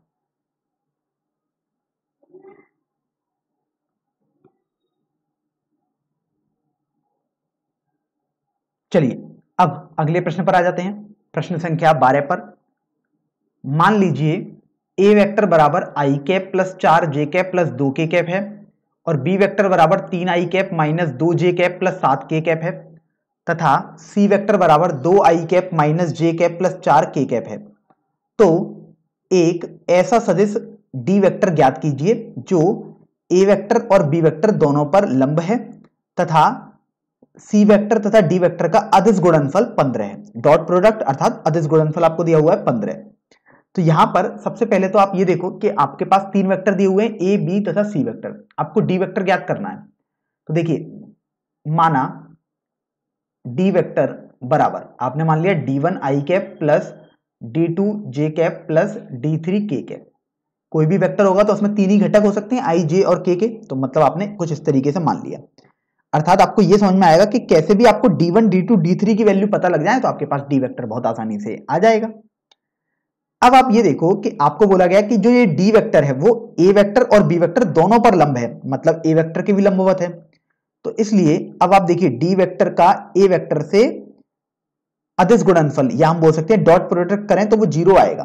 क्योंकि देखो, आपको पता है कि यदि दो वेक्टर अगर हमने ए वेक्टर और बी वेक्टर दिए, उनका डॉट प्रोडक्ट करते हैं तो ये आता है वेक्टर ए का परिमाण वेक्टर बी का परिमाण कॉस थीटा अगर ये लंबवत होंगे तो ये थीटा नब्बे हो जाएगा तो कॉस नब्बे तो ज़ीरो हो जाएगा। तो ए और डी लंबवत है तो इसी तरीके से डी डॉट ए ज़ीरो हो गया। तो अब देखो यहाँ पर हम करते हैं डी वेक्टर की जगह D one I cap plus D two J cap plus D three K cap dot product A vector की जगह देखो हम ये लिख देते हैं, अर्थात I one plus sorry I cap plus चार जे कैप प्लस दो के कैप बराबर ज़ीरो होना चाहिए। तो अब देखो, इसको हम सरल करते हैं, अर्थात डॉट प्रोडक्ट करते हैं तो ये आ गया डी वन प्लस चार डी टू प्लस दो डी थ्री बराबर ज़ीरो ये आपके पास दूसरा समीकरण हो गया। अब इसी तरीके से आपको तो बोला गया कि डी वेक्टर तो बी वेक्टर पर भी लंबवत है। तो यहाँ से आप डी वेक्टर और बी वेक्टर का डॉट प्रोडक्ट अर्थात अदिश गुणनफल भी ज़ीरो कर देंगे। तो चलिए, अब हम दोबारा लिखते हैं। डी वेक्टर लिखा हुआ है D one I cap plus D two J cap plus D three K cap dot product B vector है, देखो आपके पास तीन आई कैप माइनस दो जे कैप प्लस सात के कैप बराबर ज़ीरो। तो यहाँ से अब आप ये देखो कि डी वन का गुणा आप तीन से करोगे, तभी आएगा। डॉट प्रोडक्ट में हमने सीखा है कि आई कैप का आई कैप से करोगे, तभी वन आएगा, बाकी सब ज़ीरो हो जाएँगे। तो ये आ गया three D one minus two D two plus seven D three बराबर ज़ीरो। तो इसको आप समीकरण संख्या तीन मान लीजिएगा। अब आप ये देखो कि आपके पास दो समीकरण तो आ गए। यहाँ पर अब हम एक बात और गौर कर रहे हैं कि सी डॉट डी आपको पंद्रह दिया हुआ है। तो यहाँ से देखिए C vector dot D vector आपको पंद्रह दिया हुआ है। तो अब आप सी वेक्टर को लिख दीजिएगा। सी वेक्टर है आपके पास दो आई कैप माइनस चार सॉरी दो I cap minus J cap plus चार के कैप तो ये लिख देते हैं दो I cap minus J cap plus चार K cap dot D vector देखिए, वो आपने माना था D one I cap plus D two J cap plus D three K cap बराबर पंद्रह। तो अब आप ये देखो कि यहाँ से दो आई कैप का गुणा डी वन आई कैप से करोगे तो दो D one minus J cap का गुणा plus D two J cap से करोगे तो माइनस डी टू प्लस इसी तरीके से ये चार का गुणा डी थ्री से हो जाएगा। तो चार डी थ्री बराबर ये पंद्रह आपके पास आ गया। इसको आप समीकरण संख्या चार मान लीजिएगा। अब आपको ये तो पता था कि कैसे भी D one D two D three की वैल्यू आपको पता लग जाए तो आप डी वेक्टर आसानी से ज्ञात कर सकते हैं। अब D one D two D three अर्थात तीन वैल्यू आपको पता करनी है। और देखिए आपके पास तीन ही समीकरण है। ये देखिए रैखिक समीकरण है तीनों D one D two D three में। इसका मतलब आप इनको हल करके D1, D2 तथा D3 की वैल्यू प्राप्त कर सकते हैं। तो चलिए यहाँ पर हम इनकी वैल्यू निकाल लेते हैं। तो सबसे पहले तो यहाँ पर देखिए हम समीकरण दो व समीकरण तीन से देखो बेसिकली तीन समीकरणों को हल करना है। अब वो आपके ऊपर निर्भर करता है कि आप कैसे इनको हल करते हैं। तो देखिए, मैं यहाँ पर समीकरण चार में माइनस डी टू है और समीकरण तीन में माइनस टू डी टू है। तो समीकरण चार में दो का गुणा कर देता हूँ। दो का गुणा कर देते हैं और उसमें से समीकरण तीन हम घटा देते हैं। तो देखिए, क्या आएगा अपने पास? अब समीकरण चार में हमने दो का गुणा किया है तो मतलब ये चार डी वन माइनस दो डी टू प्लस आठ डी थ्री माइनस समीकरण तीन देखो, ये है आपके पास। तीन D one minus two D two plus सात डी थ्री, बराबर। देखो, दो का गुणा किया होगा तो यहाँ भी तो तीस हो गया होगा। यहाँ ज़ीरो ही रहेगा घटाने पर भी। तो इस तरीके से अब आप ये देखो कि माइनस दो डी टू है और देखो ये माइनस माइनस प्लस हो जाएगा। तो बेसिकली कट गई कैंसिल हो गए तो आपके पास बचा D one plus D three बराबर तीस। तो इसको आप समीकरण संख्या पाँच मान लो। अब जैसे आपने समीकरण चार व समीकरण तीन से डी वन और डी थ्री में एक समीकरण प्राप्त कर लिया, अब हम यहाँ पर समीकरण दो और समीकरण चार से कर लेते हैं। या आप चाहें तो समीकरण दो या समीकरण तीन से कर लो, किसी भी एक दो से कर लो, कोई से भी। ये पूरा आपके ऊपर निर्भर करता है। तो मान लीजिएगा हम समीकरण दो और समीकरण तीन से करते हैं। तो समीकरण तीन में देखो यहाँ माइनस टू डी टू है, यहाँ प्लस का चार डी टू है। तो समीकरण तीन में हम दो का गुणा कर देते हैं। तो दो गुणा समीकरण तीन। और उसमें हम समीकरण दो को जोड़ देते हैं। तभी तो आपके पास डी टू वाला टर्म हट जाएगा। चलिए, ये करते हैं। तो अब देखिए, इसमें आपने दो का गुणा किया तो छह डी वन माइनस चार डी टू प्लस चौदह डी थ्री आ जाएगा। तो देखिए, छह डी वन माइनस चार डी टू प्लस चौदह डी थ्री प्लस समीकरण दो लिख लेते हैं। समीकरण दो है डी वन प्लस चार डी टू प्लस दो डी थ्री तो आ गया डी वन प्लस चार डी टू प्लस दो डी थ्री बराबर। अब देखिए, ये आपके पास दोनों तरफ़ ज़ीरो है, चाहे दो का गुणा करो, चाहे किसी का भी, जोड़ने पर तो सब ज़ीरो ही आएगा। तो अब आप ये देखो माइनस चार डी टू और ये प्लस का चार डी टू ये तो कैंसिल हो गया आपके पास। तो अब आपके पास देखो, छह डी वन में से आप एक डी वन जोड़ दोगे तो आ गया सात डी वन चौदह डी थ्री में से आप दो डी थ्री जोड़ोगे तो ये आ गया सोलह डी थ्री बराबर ज़ीरो। इसको आप समीकरण संख्या छह मान लीजिएगा। तो अब यहाँ से आप देखो, पाँच और छह में आपको डी वन डी थ्री आसानी से मिल जाएगा। तो यहाँ से अब हम समीकरण पाँच में सात का गुणा कर देते हैं, माइनस समीकरण छह कर देते हैं। तो देखो यह आ गया सात डी वन प्लस सात डी थ्री माइनस, समीकरण छह में बाएँ पक्ष में लिखा हुआ है सात डी वन प्लस सोलह डी थ्री बराबर। देखो, इधर सात का गुणा करोगे तो 210 आ गया। माइनस, इधर ऐसे रहने देना मतलब ज़ीरो घटाना है आपको। तो अब आप ये देखो, आपके पास सात डी वन में से सात डी वन ये कैंसिल हो गया तो सात डी थ्री में से सोलह डी थ्री आपको घटाना है। तो ये आ गया माइनस का नौ डी थ्री बराबर दो सौ दस। देखिए डी थ्री बराबर आपके पास आ जाएगा दो सौ दस बटे नौ, और ये माइनस का चिन्ह आपने लगा दिया। तो देखो, आप देख रहे हैं कि ये आपके पास तीन से कैंसिल हो जाएगा। तो डी थ्री आपके पास आ गया माइनस का सत्तर बटे तीन। तो डी थ्री आ गया आपके पास माइनस का सत्तर बटे तीन। अब अगर आपके पास डी थ्री आ गया तो आप समीकरण पाँच ले लो या समीकरण छह, कोई भी एक समीकरण ले लो डी वन निकाल सकते हो। तो देखिए, हम समीकरण वन को ले लेते हैं। सॉरी समीकरण पाँच को ले लेते हैं। समीकरण पाँच में आपको दिया था D one plus D three तो डी थ्री की जगह माइनस सत्तर बटे तीन और ये बराबर तीस दिया था। तो डी वन देखिए आ जाएगा। तीस प्लस सत्तर बटे तीन अर्थात एक सौ साठ बटे तीन। तो इस तरीके से आपने डी वन निकाल दिया। अब देखो D1 और D3 आपके पास आ गए। अब D2 निकालना है। तो D2 के लिए तो तीन समीकरण थे आपके पास D1, D2, D3 में। डी वन और डी थ्री पता है तो कोई सा भी एक समीकरण लेकर आप डी टू प्राप्त कर सकते हैं। जैसे मान लीजिएगा हम समीकरण तीन ले लेते हैं। तो समीकरण तीन से। समीकरण तीन में आप देखो, आपके पास बोला गया था यहाँ पर तीन डी वन माइनस दो डी टू प्लस सात डी थ्री। तीन डी वन माइनस दो डी टू प्लस सात डी थ्री बराबर ज़ीरो। ये था। अब यहाँ पर हम मान लगा देते हैं। तो देखो, डी वन की जगह एक सौ साठ बटे तीन लगाएँगे और तीन यहाँ पर है। तो वैसे तो ये कट जाएगा, लेकिन अभी मैंने देखो पूरा लिख दिया। माइनस दो डी टू प्लस सात डी थ्री करना है, अर्थात सात डी थ्री की जगह माइनस सत्तर बटे तीन कर दिया। बराबर ज़ीरो।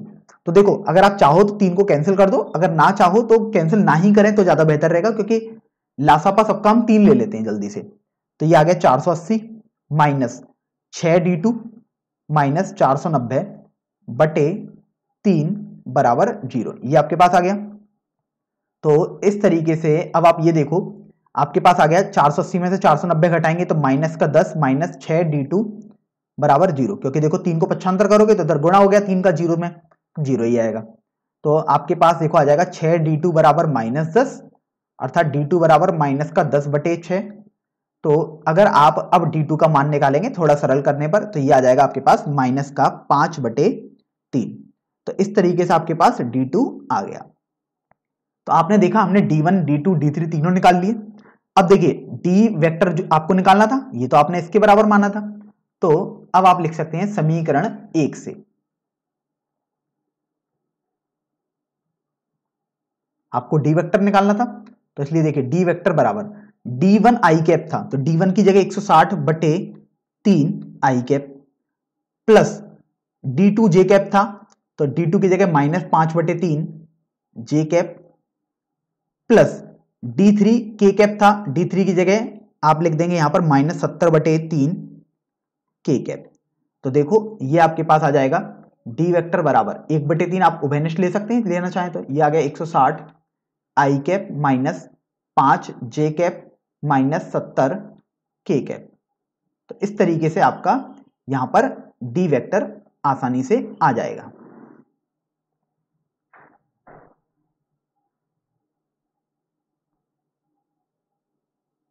अब देखिए, ये तो रहा आपके पास मेथड एक। अब हम समझ लेते हैं कि मेथड दो कौन सा हो सकता है यहाँ पर इस प्रश्न को हल करने का। तो यहाँ पर मैं लिख देता हूँ मेथड वन। अब देखो, मेथड दो में हम देख रहे हैं कि आपको डी वेक्टर ज्ञात करना है, जो ए वेक्टर तथा बी वेक्टर दोनों पर लंबवत है। तो देखिए, जब हम सदिश गुणनफल पढ़ रहे थे तो हमने बताया था कि यदि आपको दो वेक्टर दिए हुए हैं, कोई से भी, और उनके लंबवत, दोनों के लंबवत कोई एक वेक्टर लिखना हो तो उनके वो सदिश गुणनफल से मिलता है। जैसे हमने देखा, आपको ऐसा बताया था, ये ये ए वेक्टर है, ये मान लीजिएगा बी वेक्टर है। आपको ए वेक्टर और बी वेक्टर दोनों के लंबवत चाहिए तो वो उनका क्रॉस प्रोडक्ट अर्थात सदिश गुणनफल करके मिलता है। तो ए क्रॉस बी जो आएगा, वो दोनों के लंबवत होगा। तो ये आपको हमने बताया था। तो इस तरीके से, अब देखो ए क्रॉस बी कर दें या हम ए क्रॉस बी के आगे कोई अचर चिन्ह का गुणा कर दें, जैसे पाँच का गुणा कर दें या दस का गुणा कर दें, लेकिन वो रहेगा तो लंबवत ही, क्योंकि दस और पाँच ये सब तो अलग हट जाएँगे। एक्चुअल में तो ए क्रॉस बी ही वेक्टर रहा, दिशा तो वही रही उसकी। तो इस तरीके से जो आप डी वेक्टर होगा, उसे आप लिख सकते हो lambda times A cross B vector यहाँ तक उम्मीद है आपको समझ में आया होगा। ए क्रॉस बी का मतलब है ए और बी दोनों के लंबवत। तो इसलिए हमने डी वेक्टर को ए और बी दोनों के लंबवत कर दिया। लेमडा केवल हमने ऐसे ही लगा दिया लेमडा वन भी हो सकता है, दो जैसा भी आएगा वैसा हम कर देंगे। तो अभी हमने इसको मान लिया डी वेक्टर बराबर lambda times A vector cross B vector इसका मतलब आपको पहले ए क्रॉस बी करना होगा। तो चलिए ए क्रॉस बी कर लेते हैं। तो देखो ए वेक्टर आपके पास दिया हुआ है यहाँ पर, ये है और बी वेक्टर आपके पास ये है। तो चलिए ए क्रॉस बी कर लेते हैं सबसे पहले हम। तो देखिए आई जे के अब ए वेक्टर के यहाँ पर हम गुणांक लिख लेते हैं आई जे के के तो ये आपके पास आ गया एक, चार, दो। फिर हम बी वेक्टर के गुणांक लिख लेते हैं, ये आ जाएँगे तीन माइनस दो, सात। तो अगर आप आई वेक्टर के गुणांक निकालो, जब आप क्रॉस प्रोडक्ट कर रहे हैं मतलब सदिश गुणनफल कर रहे हैं तो देखो चार गुणा सात, अट्ठाईस माइनस माइनस दो गुणा दो माइनस चार होगा, लेकिन ये माइनस पहले से तो प्लस का चार हो गया। प्लस सॉरी ये माइनस आएगा यहाँ पर। तो ये माइनस जे कैप आ गया। अब देखो, एक गुणा सात सात आ गया, माइनस तीन गुणा दो छ आ गया। प्लस के कैप, अब देखो, एक गुणा माइनस दो माइनस दो आ गया, माइनस तीन गुणा चार, बारह आ गया आपके पास। तो इस तरीके से देखो, आपके पास ये आ गया है। तो जब आप इसको थोड़ा सरल करोगे तो देखो 28 और चार, बत्तीस आ गया, अर्थात बत्तीस आई कैप। ये आ गया माइनस जे कैप, और ये आ गया माइनस चौदह के कैप। तो इस तरीके से देखो डी वेक्टर आपके पास आ गया लेमडा बत्तीस I cap minus J cap minus चौदह के कैप या फिर आप चाहें तो इसको लिख सकते हैं डी वेक्टर बराबर, बत्तीस lambda I cap minus lambda J cap minus चौदह लेमडा के कैप आपने लेमडा का सभी में गुणा कर दिया, क्योंकि लेमडा तो बाहर था.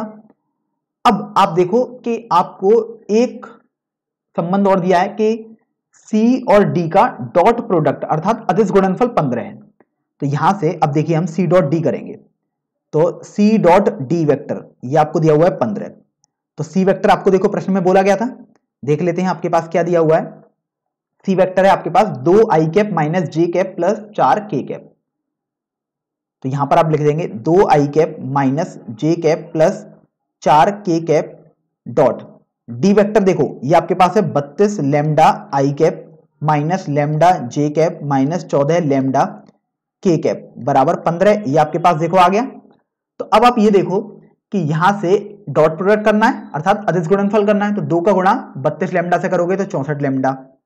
माइनस एक का गुणा माइनस लेमडा से करोगे तो प्लस का लेमडा।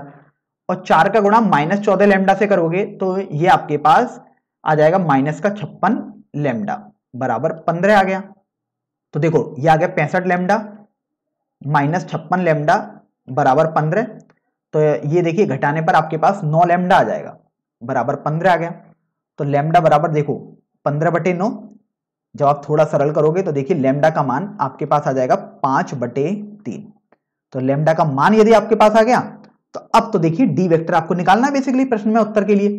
तो डी वेक्टर तो आपके पास ये था, इसको यदि हम समीकरण संख्या सात मान लें तो देखिए, इसलिए समीकरण सात से डी वेक्टर देखिए, आपके पास हो जाएगा लेमडा का गुणा। देखो, आप यदि यहाँ पर इसको सात मान लोगे तो हर बार लेमडा लगाना पड़ेगा, इसलिए सबसे बेहतर ये रहेगा, आप यहाँ पर इसको सात मान लो। तो लेमडा पाँच बटे तीन आप स्टार्टिंग में लिख दो। तो ये आ गया देखो, पाँच बटे तीन, बत्तीस आई कैप फिर देखिए, आपके पास है यहाँ पर माइनस जे कैप माइनस चौदह के कैप तो ये आ गया माइनस जे कैप माइनस चौदह के कैप देखिए डी वेक्टर इस तरीके से आपके पास देखो, एक बटे तीन हमने बाहर रखा।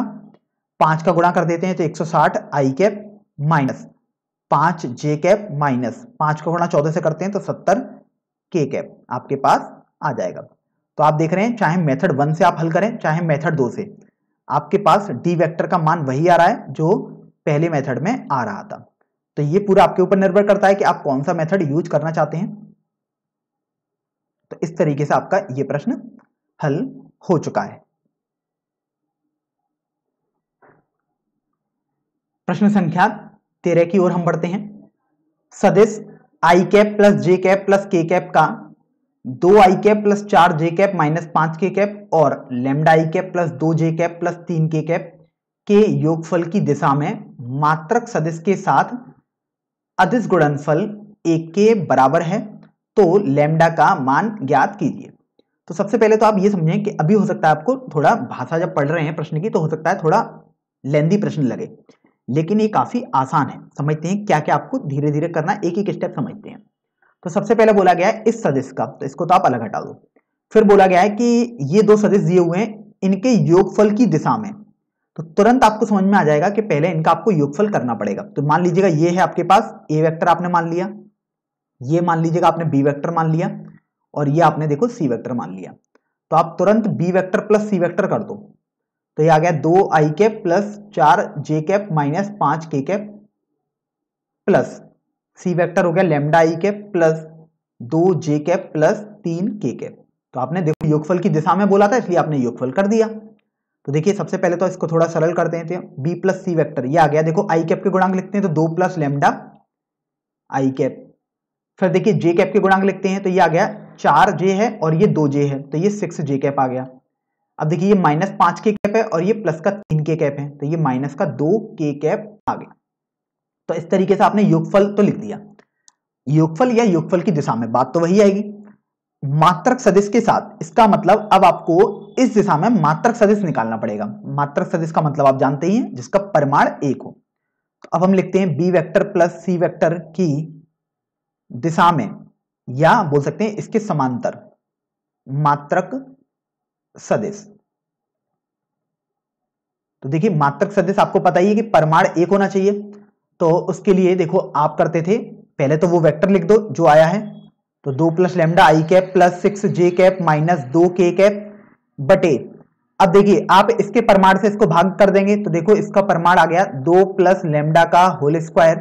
प्लस, देखो छह का होल स्क्वायर करोगे तो छत्तीस आ गया, प्लस माइनस दो का स्क्वायर करोगे तो चार चार आ गया। तो इस तरीके से अब आप देखो, आपके पास आ गया दो plus lambda I cap plus six J cap minus दो के कैप बटे अंडर रूट में। देखो, आप चाहो तो इसको पहले ओपन कर दो पूरा, दो प्लस लेमडा के होल स्क्वायर को, चाहो तो ना भी करो, क्योंकि लेमडा पता ही नहीं है अभी आपको। तो यहाँ पर आप इसको ऐसे लिखा रहने दोगे तो दो प्लस लेमडा का होल स्क्वायर इन दोनों को जोड़ दो। तो ये आपके पास प्लस चालीस आ गया। तो इस तरीके से मात्रक सदिश आ गया इनके योगफल की दिशा में। फिर बोला गया था कि अधिस गुणनफल एक है। अब अधिस गुणनफल किसका करना है? वो ए वेक्टर का करना था।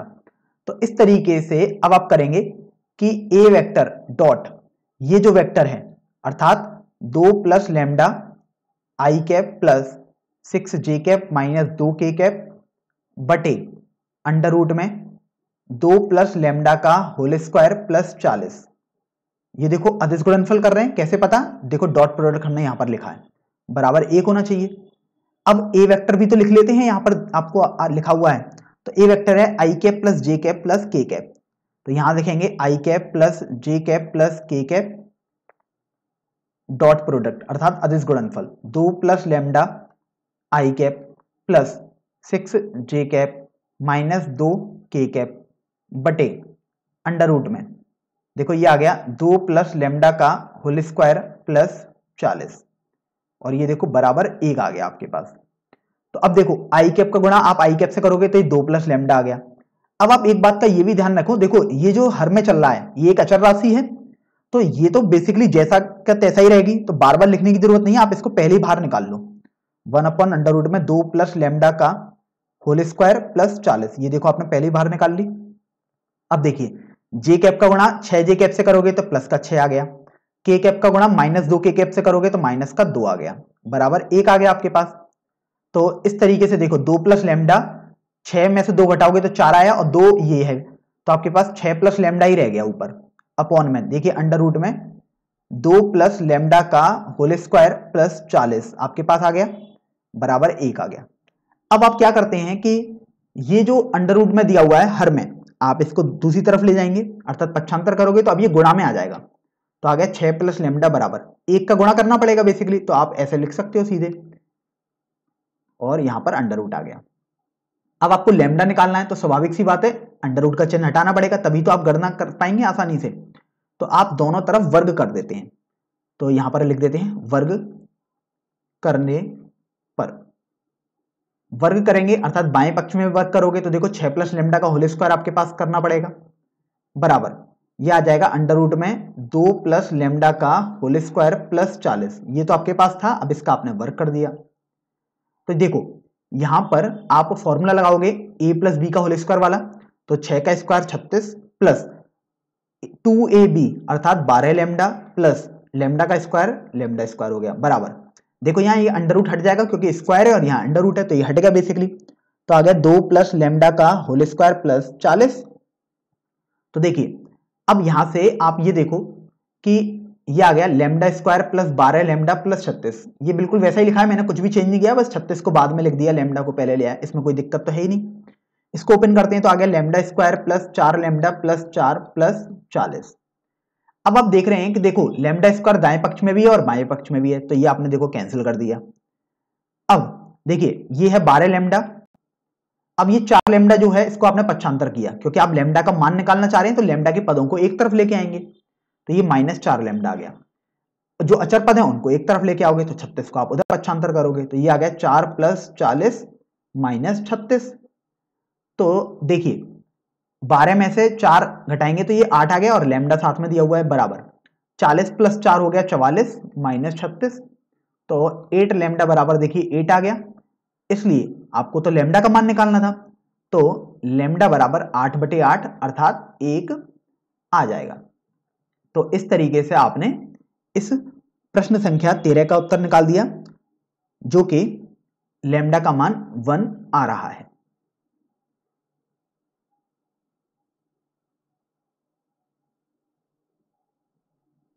तो देखिए, प्रश्न संख्या चौदह पर पढ़ते हैं।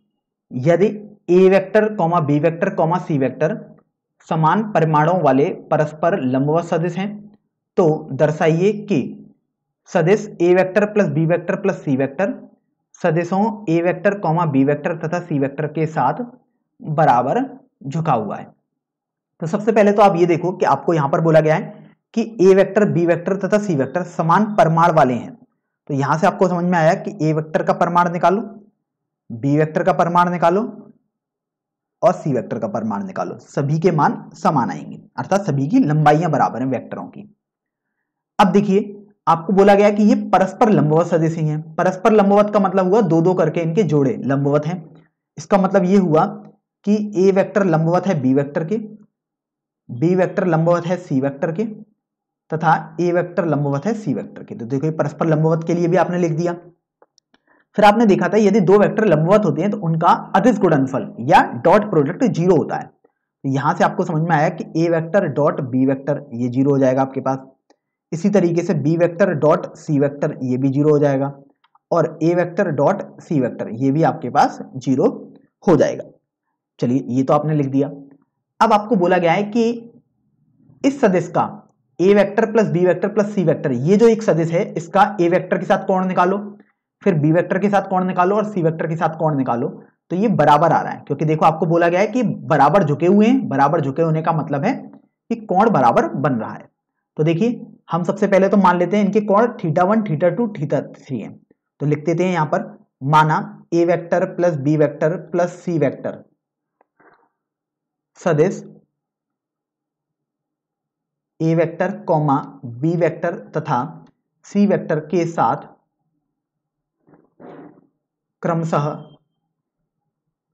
theta one comma theta two comma theta three कोण बनाता है। तो ये देखो आपने मान लिया।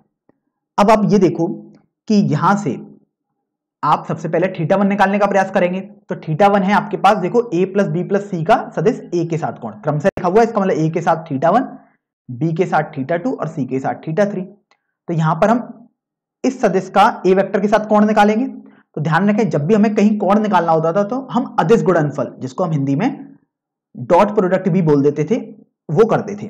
तो अब आप A vector plus B vector plus C vector, इसका डॉट प्रोडक्ट करेंगे ए वेक्टर के साथ तो देखो, ये आएगा आपके पास A vector plus B vector plus C vector का परिमाण, फिर देखिए, वेक्टर ए का परिमाण और कॉस थीटा वन, क्योंकि कॉस में कोण आता था, जितना कोण बनता है तो थीटा वन कोण बनना था। तो इस तरीके से आप देखिए, आपके पास ये हो जाएगा। देखो, हल करने पर ये हो गया ए डॉट ए का होल स्क्वायर तो ये ए डॉट ए आ गया, मान लो, प्लस देखो बी डॉट ए आया। प्लस इसी तरीके से सी डॉट ए आ गया। बराबर। देखो, इसके बारे में तो आप कुछ कर ही नहीं सकते तो इसको तो जैसा का तैसा ही आप लिख दो। और यहाँ पर वेक्टर ए का परिमाण और कॉस थीटा वन चलिए वेक्टर ए का परिमाण, आप देख रहे हैं वेक्टर ए का परिमाण वेक्टर बी का परिमाण और वेक्टर सी का परिमाण बराबर है। तो हम मान लेते हैं, मान लीजिए के है। बराबर में भी के है। तो यहाँ पर हम के लिख देते हैं बार बार। तो यहाँ पर देखो मैं ए वेक्टर का परिमाण लिखने के बजाय के लिख देता हूँ। तो ये आ गया। अब आप ये देखो कि दो वेक्टर हैं, एक जैसे वेक्टर है, उनका हम अधिस गुणनफल करते हैं तो ये आता है वेक्टर ए के परमाण का होल स्क्वायर तो मतलब आ गया के स्क्वायर प्लस देखो बी डॉट ए आप जान रहे हैं ए और बी तो लंबवत वेक्टर है, आपको बोला गया स्टार्टिंग में ही तो ए डॉट बी ज़ीरो है तो बी डॉट ए भी ज़ीरो आएगा। ये कोई मतलब अंतर तो रहता ही नहीं स्थान परिवर्तित करते हैं तो ये ज़ीरो इसी तरीके से देखो, ये भी ज़ीरो हो गया। तो के स्क्वायर बराबर vector A plus vector B plus vector C का परिमाण के कॉस थीटा वन तो इस तरीके से देखो, यहाँ एक के है और यहाँ के स्क्वायर है तो एक के कैंसिल हो जाएगा। तो कॉस थीटा वन देखिए, आपके पास आ जाएगा K upon vector A plus vector B plus vector C का परमाण। इसको आप समीकरण संख्या एक मान लीजिएगा। अब बात करते हैं कि बी वेक्टर के साथ क्या कोण बना रहा था। तो अब हम A plus B plus C का बी वेक्टर के साथ डॉट प्रोडक्ट करते हैं। तो देखो A plus B plus C इसका डॉट प्रोडक्ट करते हैं बी वेक्टर के साथ में। तो ये आ जाएगा वेक्टर ए का परमाण प्लस वेक्टर बी का परमाण प्लस वेक्टर सी का परमाण। Sorry A plus B plus C पूरे का परमाण करना पड़ेगा इसका। गुणा वेक्टर बी का परमाण कॉस अब यहाँ पर आप थीटा टू कर दोगे, क्योंकि कौन थीटा टू बना रहा है तो इसलिए आपने कॉस थीटा टू लिखा। अब देखिए डॉट प्रोडक्ट करोगे तो ए डॉट बी करोगे। प्लस बी डॉट बी हो जाएगा, प्लस सी डॉट बी आ जाएगा आपके पास। बराबर। देखो, ये तो के के बराबर आप लिख सकते हो, क्योंकि वेक्टर ए का प्रमाण वेक्टर बी का प्रमाण वेक्टर सी का प्रमाण बराबर था और के के बराबर आपने खुद माना था। तो आप उसकी जगह देखो के लिख दोगे। तो यहाँ पर देखो, अब लिख दोगे A plus B plus C vector का परिमाण और कॉस थीटा टू तो अब देखो बी और सी लंबवत है परस्पर ए और बी भी परस्पर लंबवत है तो ये सब तो ज़ीरो हो गए। तो आपके पास बी डॉट बी बचा, अर्थात बी वेक्टर के परमाण का होल स्क्वायर तो बी वेक्टर का परमाण के माना है तो ये के स्क्वायर बराबर A plus B plus C जो वेक्टर है उसका परिमाण, गुणा के कॉस थीटा टू तो इस तरीके से अब आप ये देखो, आपके पास कॉस थीटा टू ये आ जाएगा, देखो के से ये के कट जाएगा यहाँ पर तो K upon vector A plus vector B plus vector C का परिमाण। इसको आप समीकरण संख्या दो मान लीजिएगा। तो देखो, अब आपने समीकरण संख्या एक और समीकरण संख्या दो तो निकाल ली। अब यहाँ पर आपको बोला गया वेक्टर सी के साथ भी कौन निकालना पड़ेगा आपको तो? तो यहाँ से अब आप करोगे A plus B plus C जो ये वेक्टर है, इसका डॉट प्रोडक्ट वेक्टर सी के साथ में। तो ये आ जाएगा vector A plus vector B plus vector C का प्रमाण। गुणा वेक्टर सी का प्रमाण कॉस थीटा थ्री। तो अब देखो, यहाँ पर ए डॉट सी आएगा, वो ज़ीरो हो जाएगा बी डॉट सी भी ज़ीरो हो जाएगा तो सी डॉट सी आएगा। वो हम सीधे अब एक बार में के स्क्वायर लिख सकते हैं। ये आ गया vector A plus vector B plus vector C का प्रमाण। देखो, वेक्टर सी का प्रमाण यहाँ पर आप लिखोगे तो वो के आ गया कॉस थीटा थ्री। तो देखो के से ये के स्क्वायर का के एक कैंसिल हो जाएगा तो एक के बचेगा। तो आपके पास कॉस थीटा थ्री आ जाएगा। के अपॉन वेक्टर ए का परिमाण plus sorry vector A plus vector B plus vector C का परिमाण। तो इसको आप समीकरण संख्या तीन मान लीजिएगा। अब देखिए, आपको बोला गया था, आपको सिद्ध करना है कि बराबर झुके हुए अर्थात कोण बराबर है। लेकिन आपने देखा, अभी तक हमने समीकरण एक, दो, तीन में केवल कोण ना निकालकर cos theta one cos theta two cos theta three निकाले। लेकिन आप देख रहे हैं कॉस्ट थीटा वन देखिए कॉस्ट थीटा टू और कॉस्ट थीटा थ्री तीनों ही बराबर आ रहे हैं। तो यहाँ पर आप लिख सकते हैं कि चूँकि कॉस थीटा वन बराबर कॉस थीटा टू बराबर कॉस थीटा थ्री आ रहा है। इसलिए आप बोल सकते हैं कि थीटा वन बराबर थीटा टू बराबर थीटा थ्री ये भी आपके पास बराबर ही आएँगे। और यही देखिए आपको सिद्ध भी करना था कि बराबर झुके हुए तो आप लिख सकते हैं हैंस प्रूव्ड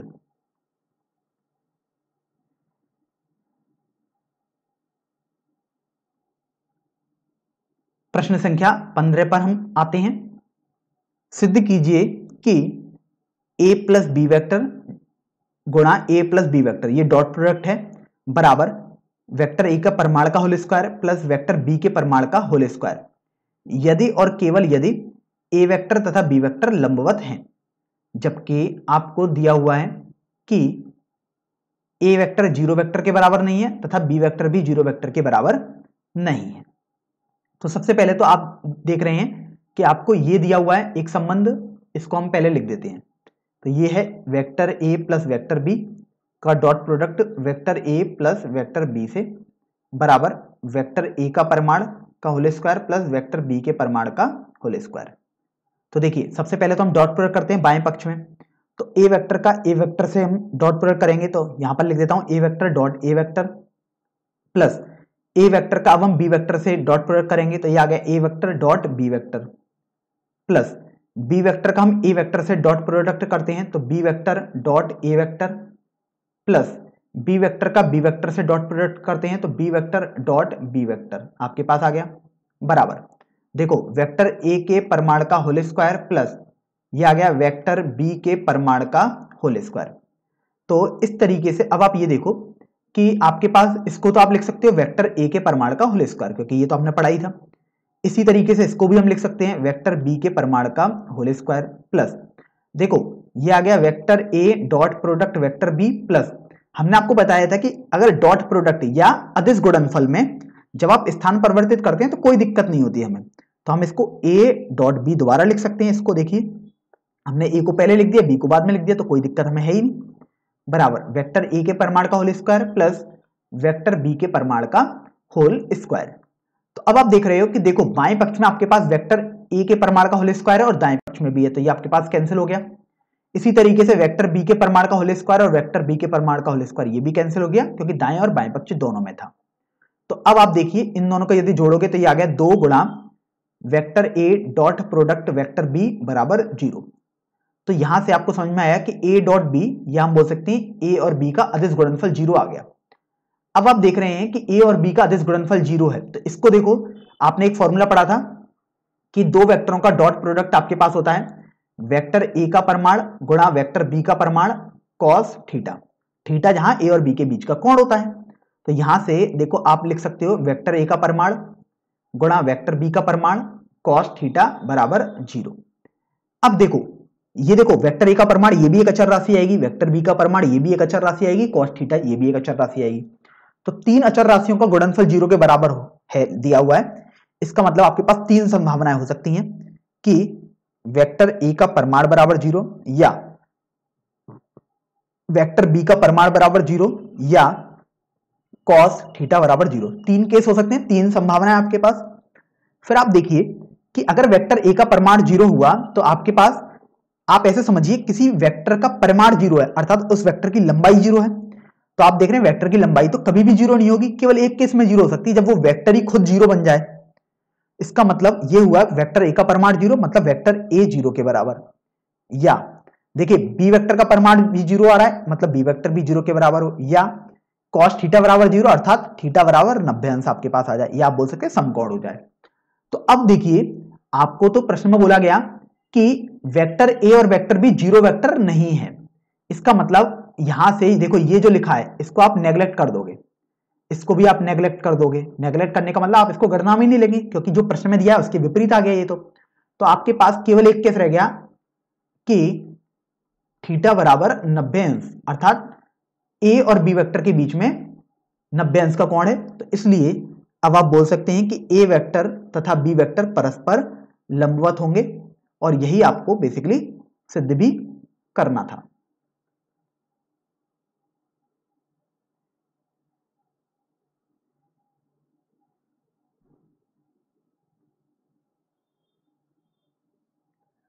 अब देखिए, प्रश्न संख्या 16 पर हम आते हैं। आपको बोला गया कि 16 से 19 तक के प्रश्नों में सही उत्तर का चयन कीजिए।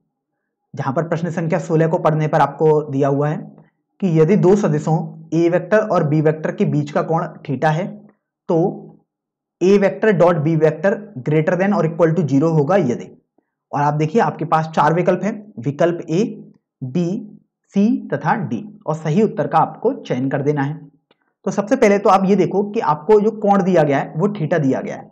और ये A vector dot B vector की बात हो रही है। डॉट प्रोडक्ट मतलब अदिश गुणनफल की। तो देखिए, आपने सीखा था, यदि दो वेक्टर का हम अदिश गुणनफल करते हैं तो ये आएगा वेक्टर ए का परिमाण गुणा वेक्टर बी का परिमाण गुणा कॉस उनके बीच में जो एंगल होता है, उसका कॉस तो एंगल तो थीटा है यहाँ पर थीटा कर दिया। अब आप देख रहे हैं, अगर ये देखो फॉर्मूला होता था तो इसको हम मान लो समीकरण संख्या एक मान लेते हैं। अब प्रश्नानुसार हम देखते हैं कि आपके पास तो बोला गया है कि A vector dot B vector ये greater than equal to zero है। इसका मतलब ये वाली वैल्यू ज़ीरो या ज़ीरो से बड़ी है तो अर्थात दाई वैल्यू भी ज़ीरो या ज़ीरो से बड़ी हो जाएगी, दाएँ पक्ष में जो दिया है। तो आप बोल सकते हैं, इसलिए वेक्टर ए का परिमाण गुणा वेक्टर बी का परिमाण गुणा कॉस थीटा ये भी ज़ीरो या ज़ीरो से बड़ी हो जाएगी। तो अब आप ये देखो कि किसी भी वेक्टर का परिमाण हमेशा उस वेक्टर की लंबाई को प्रदर्शित करता है, और लंबाई आप जानते हैं हमेशा धनात्मक ही होगी। तो आपको यह समझ में आता है कि ये सब वैल्यू तो पॉजिटिव ही होंगी। तो ये भी पॉजिटिव ये भी पॉजिटिव कॉस थीटा के बारे में हमें नहीं पता लेकिन यहाँ ये ज़ीरो से बड़ा है तो, तो ये पॉजिटिव है इसका मतलब हम लिख सकते हैं कि यहाँ से कॉस थीटा ज़ीरो से बड़ा आया होगा या ज़ीरो के बराबर आया होगा। तो बेसिकली अब आपको इसको हल करना है अर्थात त्रिकोणमितीय असमिका बन गई एक तरीके से। तो कॉस थीटा ज़ीरो से बड़ा होना चाहिए। तो देखिए वैसे तो आपको समझ में आ जाएगा तुरंत। अगर आपको नहीं भी समझ में आता है तो आप ग्राफ से समझ सकते हैं कॉस के ग्राफ से। तो चलिए हम उससे भी आपको समझा देते हैं। ये मान लीजिएगा आपके पास एक्स अच्छे और ये आपके पास देखो वाई अक्ष हमने बना दिया। अगर हम कॉस का ग्राफ बनाए तो देखो दो वेक्टर के बीच में कोण 180 अंश तक ही जा सकता है। तो कॉस का हम ग्राफ बनाते हैं तो कुछ इस तरीके से आपके पास ये बनता है। देखिए, ज़ीरो से 180 के बीच में हम बनाएँगे कौन ग्राफ तो इसका देखो इस तरीके से ये ग्राफ आ जाएगा। ये पाई हो गया, ये पाई बटे दो आ गया, ये ज़ीरो आ गया। अब आप देखो कि कॉस थीटा ज़ीरो या ज़ीरो से बड़ा होना चाहिए। तो देखो ज़ीरो या ज़ीरो से बड़ा मतलब ये पूरी वैल्यू है। ये जो मैं लाल रंग से इसको कट कर रहा हूँ, ये मतलब बेसिकली ये आपको ये वाला ग्राफ लेना होगा। तो आप देख रहे हैं, इसका मतलब जो थीटा है, वो ज़ीरो से लेकर पाइवटे दो के बीच में होना चाहिए, जहाँ पर ज़ीरो और पाई बटे दो भी सम्मिलित होने चाहिए। क्यों सम्मिलित होने चाहिए? क्योंकि ज़ीरो पर तो देखो वन आ रहा है, वो तो वन से बड़ा है ही। पाई बटे दो पर ज़ीरो आ रहा है। देखो, यहाँ पर बराबर का चिन्ह भी लगा हुआ है ये वाला। इसलिए आपने बोला कि थीटा ज़ीरो से पाई बटे दो के बीच में होना चाहिए। या फिर देखिए आप इसको इस तरीके से लिख सकते हैं कि थीटा लेस देन और इक्वल टू पाई बटे दो एंड यहाँ पर ज़ीरो या ज़ीरो से बड़ा। तो यही आपका बेसिकली उत्तर हो जाएगा। तो अब चूँकि आपको तो सही विकल्प का चुनाव करना था तो आप देखिए आपके पास ये विकल्प बी में दिया हुआ है। अतः विकल्प बी आपके पास सही उत्तर हो जाएगा।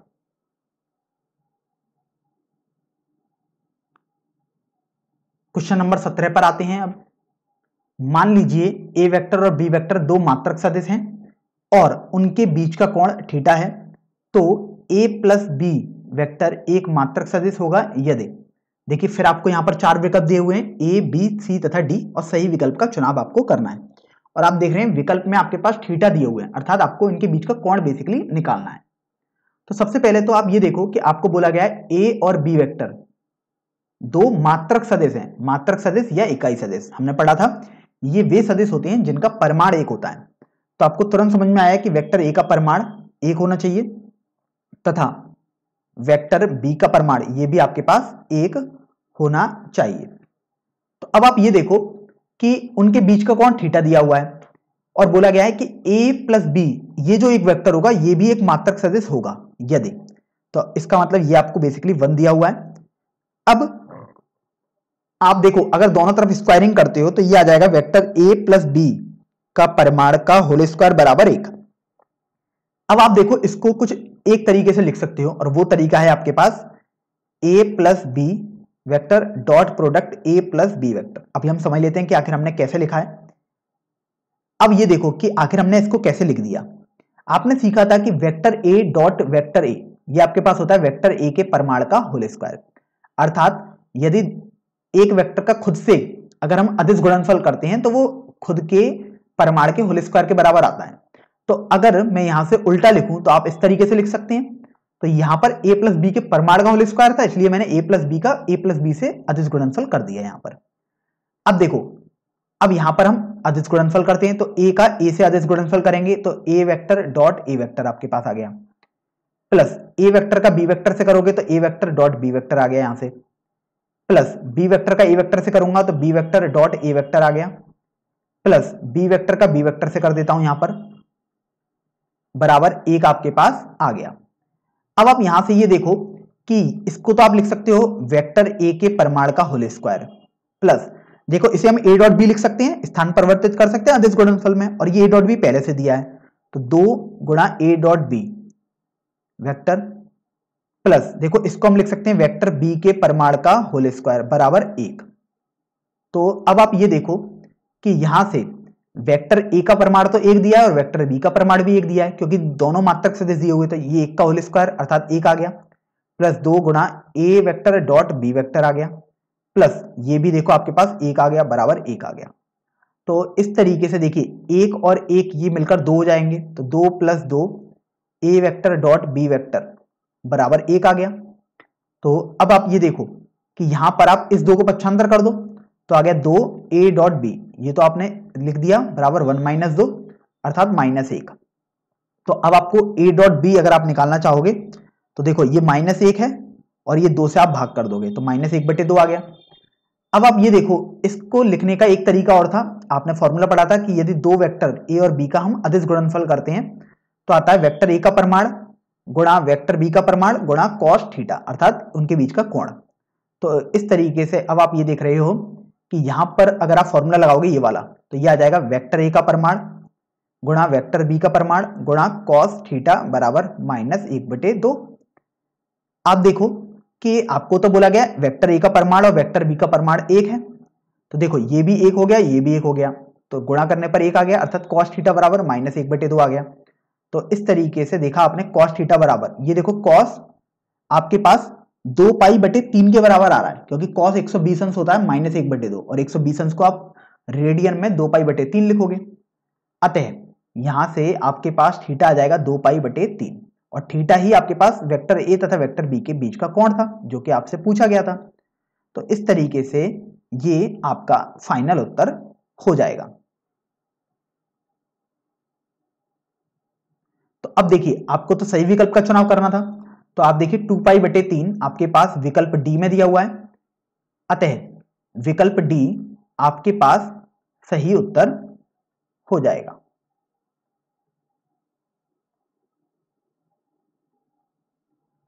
चलिए, अब हम प्रश्न संख्या 18 पर आ जाते हैं। प्रश्न संख्या 18 में आपको बोला गया है कि I dot J cross K plus J cap dot I cap cross K cap plus K cap dot I cap dot sorry cross J cap का मान है। तो सबसे पहले तो आप ये देखिए कि आपके पास प्रश्न कुछ इस तरीके से दिया हुआ I cap dot J cap cross K cap plus J cap dot I cap cross K cap plus K cap dot I cap cross J cap यहाँ पर भले ही आपको डॉट नहीं दिख रहे होंगे, लेकिन सब जगह डॉट है, इस बात का आप विशेष ध्यान रखें। तो अब आप ये देखो कि सबसे पहला उद्देश्य तो आपका ये रहना चाहिए कि कैसे भी हम जे क्रॉस के को पता कर सकें आई क्रॉस के को पता कर सकते हैं और आई क्रॉस जे को पता कर सकें। तो देखिए, हमने क्रॉस प्रोडक्ट अर्थात सदिश गुणनफल के दो तरीके आपको बताए थे, और वो दो तरीके कुछ इस तरीके से थे। पहला तरीका अगर हम देखें तो उसमें हमने आपको बताया था कि आई जे के जो होते हैं, ये आपके पास हमेशा एक वृत्तीय क्रम में चलते हैं। इसका मतलब कुछ इस तरीके से अगर ये व्रत है तो उसमें आई, जे, के चलेंगे। जैसे ये आई है, ये जे, कैप हो गया और ये के, कैप हो गया। तो अगर आप ये देखो देखो मैं यहीं पर आपको करके दिखाता हूँ इसे। यहाँ पर देखिए, आई, कैप तो पहले से ही है। डॉट। अब देखो, J, cap cross K, cap को अभी हम बताएँगे आपको, प्लस। जे, कैप देखो, आपके पास ये है। इसको भी हम बताएँगे यहाँ पर, और के, कैप आपके पास देखो, ये है, और इसको भी हम यहाँ पर ये बताएँगे। अब देखो जे क्रॉस के है तो जे क्रॉस के आप इसी दिशा में आगे बढ़ रहे हैं, पहले जे है, फिर के है तो इधर बढ़ रहे हैं, और आप देख रहे हैं आपने किसी को भी लांगा नहीं है बीच में, अर्थात कोई भी बीच में नहीं आया गैप कुछ नहीं हुआ तो सीधे ये आई के बराबर आप कर दोगे तो ये आ गया। इसी तरीके से देखो आई क्रॉस के के बारे में बात करते हैं तो आई क्रॉस के के लिए आपको, देखो, जब आप आई क्रॉस के के बारे में चल रहे हैं तो आई से के की तरफ़ बढ़ना है ध्यान रखें, इसी दिशा में आगे बढ़ेंगे तो देखो जे बीच में आ गया तो इसलिए ये जो आएगा, वो माइनस जे के पा जाएगा। अब आई क्रॉस जे है तो आएगा तो देखो के अब ये नहीं पता माइनस का आएगा या प्लस का आएगा? तो आई क्रॉस जे के लिए, अब आप देखोगे आई से जे की तरफ़ बढ़ो। तो आई से जे में जब आप जा रहे हो तो बीच में कुछ भी आपके पास आया ही नहीं। तो इसलिए केवल ये प्लस का ही के आएगा। तो अब देखो, आपके पास ये हो जाएगा आई डॉट आई मतलब एक plus J dot minus J minus एक आ गया प्लस के डॉट के ये आपके पास एक आ गया। तो देखो, एक और एक दो, और ये माइनस एक तो ये आपके पास एक के बराबर आ गया। अतः विकल्प सी आपके पास सही उत्तर हो जाएगा। अब यहाँ पर हम समझ लेते हैं कि आखिर दूसरा मेथड हमने क्या बताया था, उससे भी आप इसको कर सकते थे बहुत आसानी से। तो देखिए, उससे भी हम करते हैं। तो बात आती है पहले जे क्रॉस के आपको निकालना होगा। तो J cross K cross product निकालने के लिए आप आई जे के पहले लिख लिया करो। अब देखो, पहले जे है, फिर के है। तो जे वाले वेक्टर में आई कैप का गुणांक ज़ीरो होगा। जे कैप का गुणांक एक और के कैप का गुणांक ज़ीरो फिर क्रॉस के कैप है तो यहाँ पर एक और ये सब ज़ीरो आ गया। तो देखो, ये आपके पास आ जाएगा I cap one minus zero plus देखो जे कैप में करोगे तो ये ज़ीरो आ गया और कैप कैप में करोगे ये भी आपके पास ज़ीरो आ गया। तो इस तरीके से देखो ये आई कैप आ गया। अब इसी तरीके से बात चलती है। तो यहाँ पर आप आई क्रॉस के करोगे अब तो आई जे के लिखोगे यहाँ पर, लिखने का तरीका तो वही है। अब आई पहले लिखा है मतलब यहाँ पर एक ज़ीरो ज़ीरो है, अब के कैप है मतलब के का गुणांक तो एक है, बाकी कोई है ही नहीं तो ये सब ज़ीरो आपने लिख दिया। तो देखो आई कैप देखो, ज़ीरो का एक से गुणा किया, माइनस ज़ीरो का ज़ीरो से गुणा किया तो ज़ीरो आया, माइनस जे कैप अब देखो, आप एक का एक से गुणा करोगे, एक, ज़ीरो का ज़ीरो से गुणा करोगे तो ज़ीरो तो एक में से ज़ीरो घटाओगे तो एक प्लस के कैप ये आपके पास एक माइनस एक का गुणा ज़ीरो से करोगे तो ज़ीरो और ज़ीरो का गुणा ज़ीरो से करोगे तो भी ज़ीरो। तो इस तरीके से ये माइनस का जे कैप आ गया। तो आपने देखा माइनस का जे कैप आपके पास आया था। अब आई क्रॉस जे कर लेते हैं। तो आई क्रॉस जे के लिए आप देखो आई जे के तो लिखोगे ही लिखोगे। अब यहाँ पर देखो आई क्रॉस जे करना है मतलब one zero zero zero one zero तो देखिए आई कैप के साथ लिखेंगे ज़ीरो माइनस ज़ीरो ज़ीरो आ गया। माइनस जे कैप ये भी ज़ीरो आ गया। प्लस के कैप ये आपके पास वन माइनस ज़ीरो आ गया, अर्थात के कैप आ गया। तो आपने देखा ये के कैप आ गया। तो इस तरीके से मैंने आपको देखो दोनों तरीके से बता दिया कि जे क्रॉस के का मान या तो आप ऐसे देख लें व्रत में जैसे हम चलते हैं, या फिर हम इस तरीके से देख सकते हैं, जैसे हम आव्यू का सांडिक निकालते थे किसी भी आव्यू का। तो आपके पास ये प्रश्न संख्या 18 का उत्तर हो जाएगा, एक, अर्थात विकल्प सी। अब हम देखिए, अगले अर्थात सबसे अंतिम प्रश्न पर आ जाते हैं इस प्रश्नावली के, प्रश्न संख्या 19 पर। आपको यहाँ पर बोला गया है कि यदि दो सदिशों ए वेक्टर और बी वेक्टर के बीच का कोण थीटा है तो ए डॉट बी का परमाण बराबर ए क्रॉस बी का परमाण है, जब थीटा बराबर है। तो अब देखिए, यहाँ पर आप देख रहे हैं कि आपको बोला गया है कि vector A dot product vector B इसका परिमाण बराबर vector A cross vector B इनका परिमाण। और इनके बीच में बोला गया है ए और बी के बीच में कौन थीटा है। तो आप जानते हैं कि सबसे पहले तो हम फॉर्मूले लिख लेते हैं। Vector A dot vector B अर्थात अदिश गुणनफल आपके पास होता है वेक्टर ए का परिमाण, वेक्टर बी का परिमाण कॉस थीटा। इसी तरीके से ए क्रॉस बी हम समझ लेते हैं। तो ये होता है वेक्टर ए का परिमाण, वेक्टर बी का परिमाण साइन थीटा और एन कैप यहाँ पर एन कैप समझते हैं। एन कैप ए और बी के लंबवत इकाई सदिश होता है केवल। इसका केवल और केवल इतना मतलब होता है इकाई सदिश है और ये दिशा प्रदान करता है केवल। तो अब ये देखो, यहाँ पर आपके पास हो जाएगा। ये देखो, परमाण का चिन्ह तो आपके पास लगा ही रहेगा। ये आ गया वेक्टर ए का परमाण, वेक्टर बी का परमाण कॉस थीटा और फिर देखो परमाण का चिन्ह, बराबर। देखो, परमाण का चिन्ह आपने बाहर लगा ही दिया। ए क्रॉस बी देखो, ये आपके पास दिया हुआ है। वेक्टर ए का परमाण, वेक्टर बी का परमाण साइन थीटा और ये एन कैप इसका परमाण आपने कर दिया। अब सबसे पहले आप इस बात को ध्यान रखें कुछ छात्रों को ये कंफ्यूजन होगा कि अगर हम आपसे बोले कि पाँच का परमाण निकालिए तो पाँच तो देखो अचर राशि है तो पाँच का परमाण तो पाँच ही आ जाएगा। तो अब ये देखो, ये भी एक अचर राशि होती है, परमाण मतलब लंबाई, ये भी लंबाई है कॉस्टा ये भी एक फिक्स वैल्यू होगी अचर राशि। तो ये पूरी बेसिकली अचर राशि, या हम बोल सकते हैं कोई कांस्टेंट वैल्यू होगी तो इसका प्रमाण मतलब यही आ जाएगा। तो ये आ गया वेक्टर ए का प्रमाण, वेक्टर बी का प्रमाण कॉस थीटा। बराबर।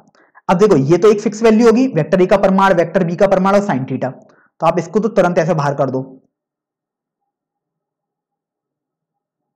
अब बात आती है एन कैप एन कैप तो एक दिशा को प्रदर्शित करता है, अर्थात एक ये सदिश है। तो अब एन कैप का आपको प्रमाण करना पड़ेगा बेसिकली क्योंकि हमने आपको यह भी बताया था कि अगर कहीं पर आपको दिया हुआ पाँच ए वेक्टर, इसका प्रमाण। तो पाँच तो देखो अचर राशि है तो पाँच तो बाहर आ गया। बस आपको वेक्टर का परमाण करना पड़ेगा। तो वेक्टर तो एन कैप है तो इसका परमाण आपने कर दिया। बाकी सबको आपने बाहर निकाल दिया। तो अब आप ये देखो, वेक्टर ए का परमाण बाएँ पक्ष में भी और दाएँ पक्ष में भी तो कैंसिल हो गया। वेक्टर बी का प्रमाण बाएँ पक्ष में भी और दाएँ पक्ष में भी है तो ये भी कैंसिल हो गया। तो इस तरीके से देखो ये कॉस्टीटा बचा। यहाँ देखो ये साइन थीटा तो है ही। अब एन कैप है, इसका प्रमाण है। एन कैप, देखो एन कैप जो होता है, वो होता है इकाई सदिश। तो परमाण इकाई सदिश है इसलिए परमाण तो एक ही आएगा तो इसलिए आपने गुणा एक कर दिया। तो अब देखो कॉस थीटा को अगर हम पक्षांतर कर दें तो ये आ जाएगा एक बराबर साइन थीटा बटे कॉस थीटा। तो साइन थीटा बटे कॉस थीटा, ये तो टेन थीटा होता है, अर्थात टेन थीटा एक के बराबर आ गया। तो अगर टेन थीटा एक के बराबर आ गया तो आपके पास थीटा का मान पाई बटे चार, अर्थात पैंतालीस अंश हो जाएगा। तो यही आपको बेसिकली थीटा निकालना था, जो कि ए वेक्टर और बी वेक्टर के बीच का कोण था। तो इस तरीके से आपके पास दोनों के बीच का कोण आ गया है, पाई बटे चार या हम बोल सकते पैंतालीस अंश। अब चूँकि आपको तो सही विकल्प का चुनाव करना था तो आप देखिए आपके पास विकल्प बी में बोला गया है कि कोण है जो पाई बटे चार के बराबर है। तो इस तरीके से आपके पास विकल्प बी बिल्कुल सही उत्तर हो जाएगा।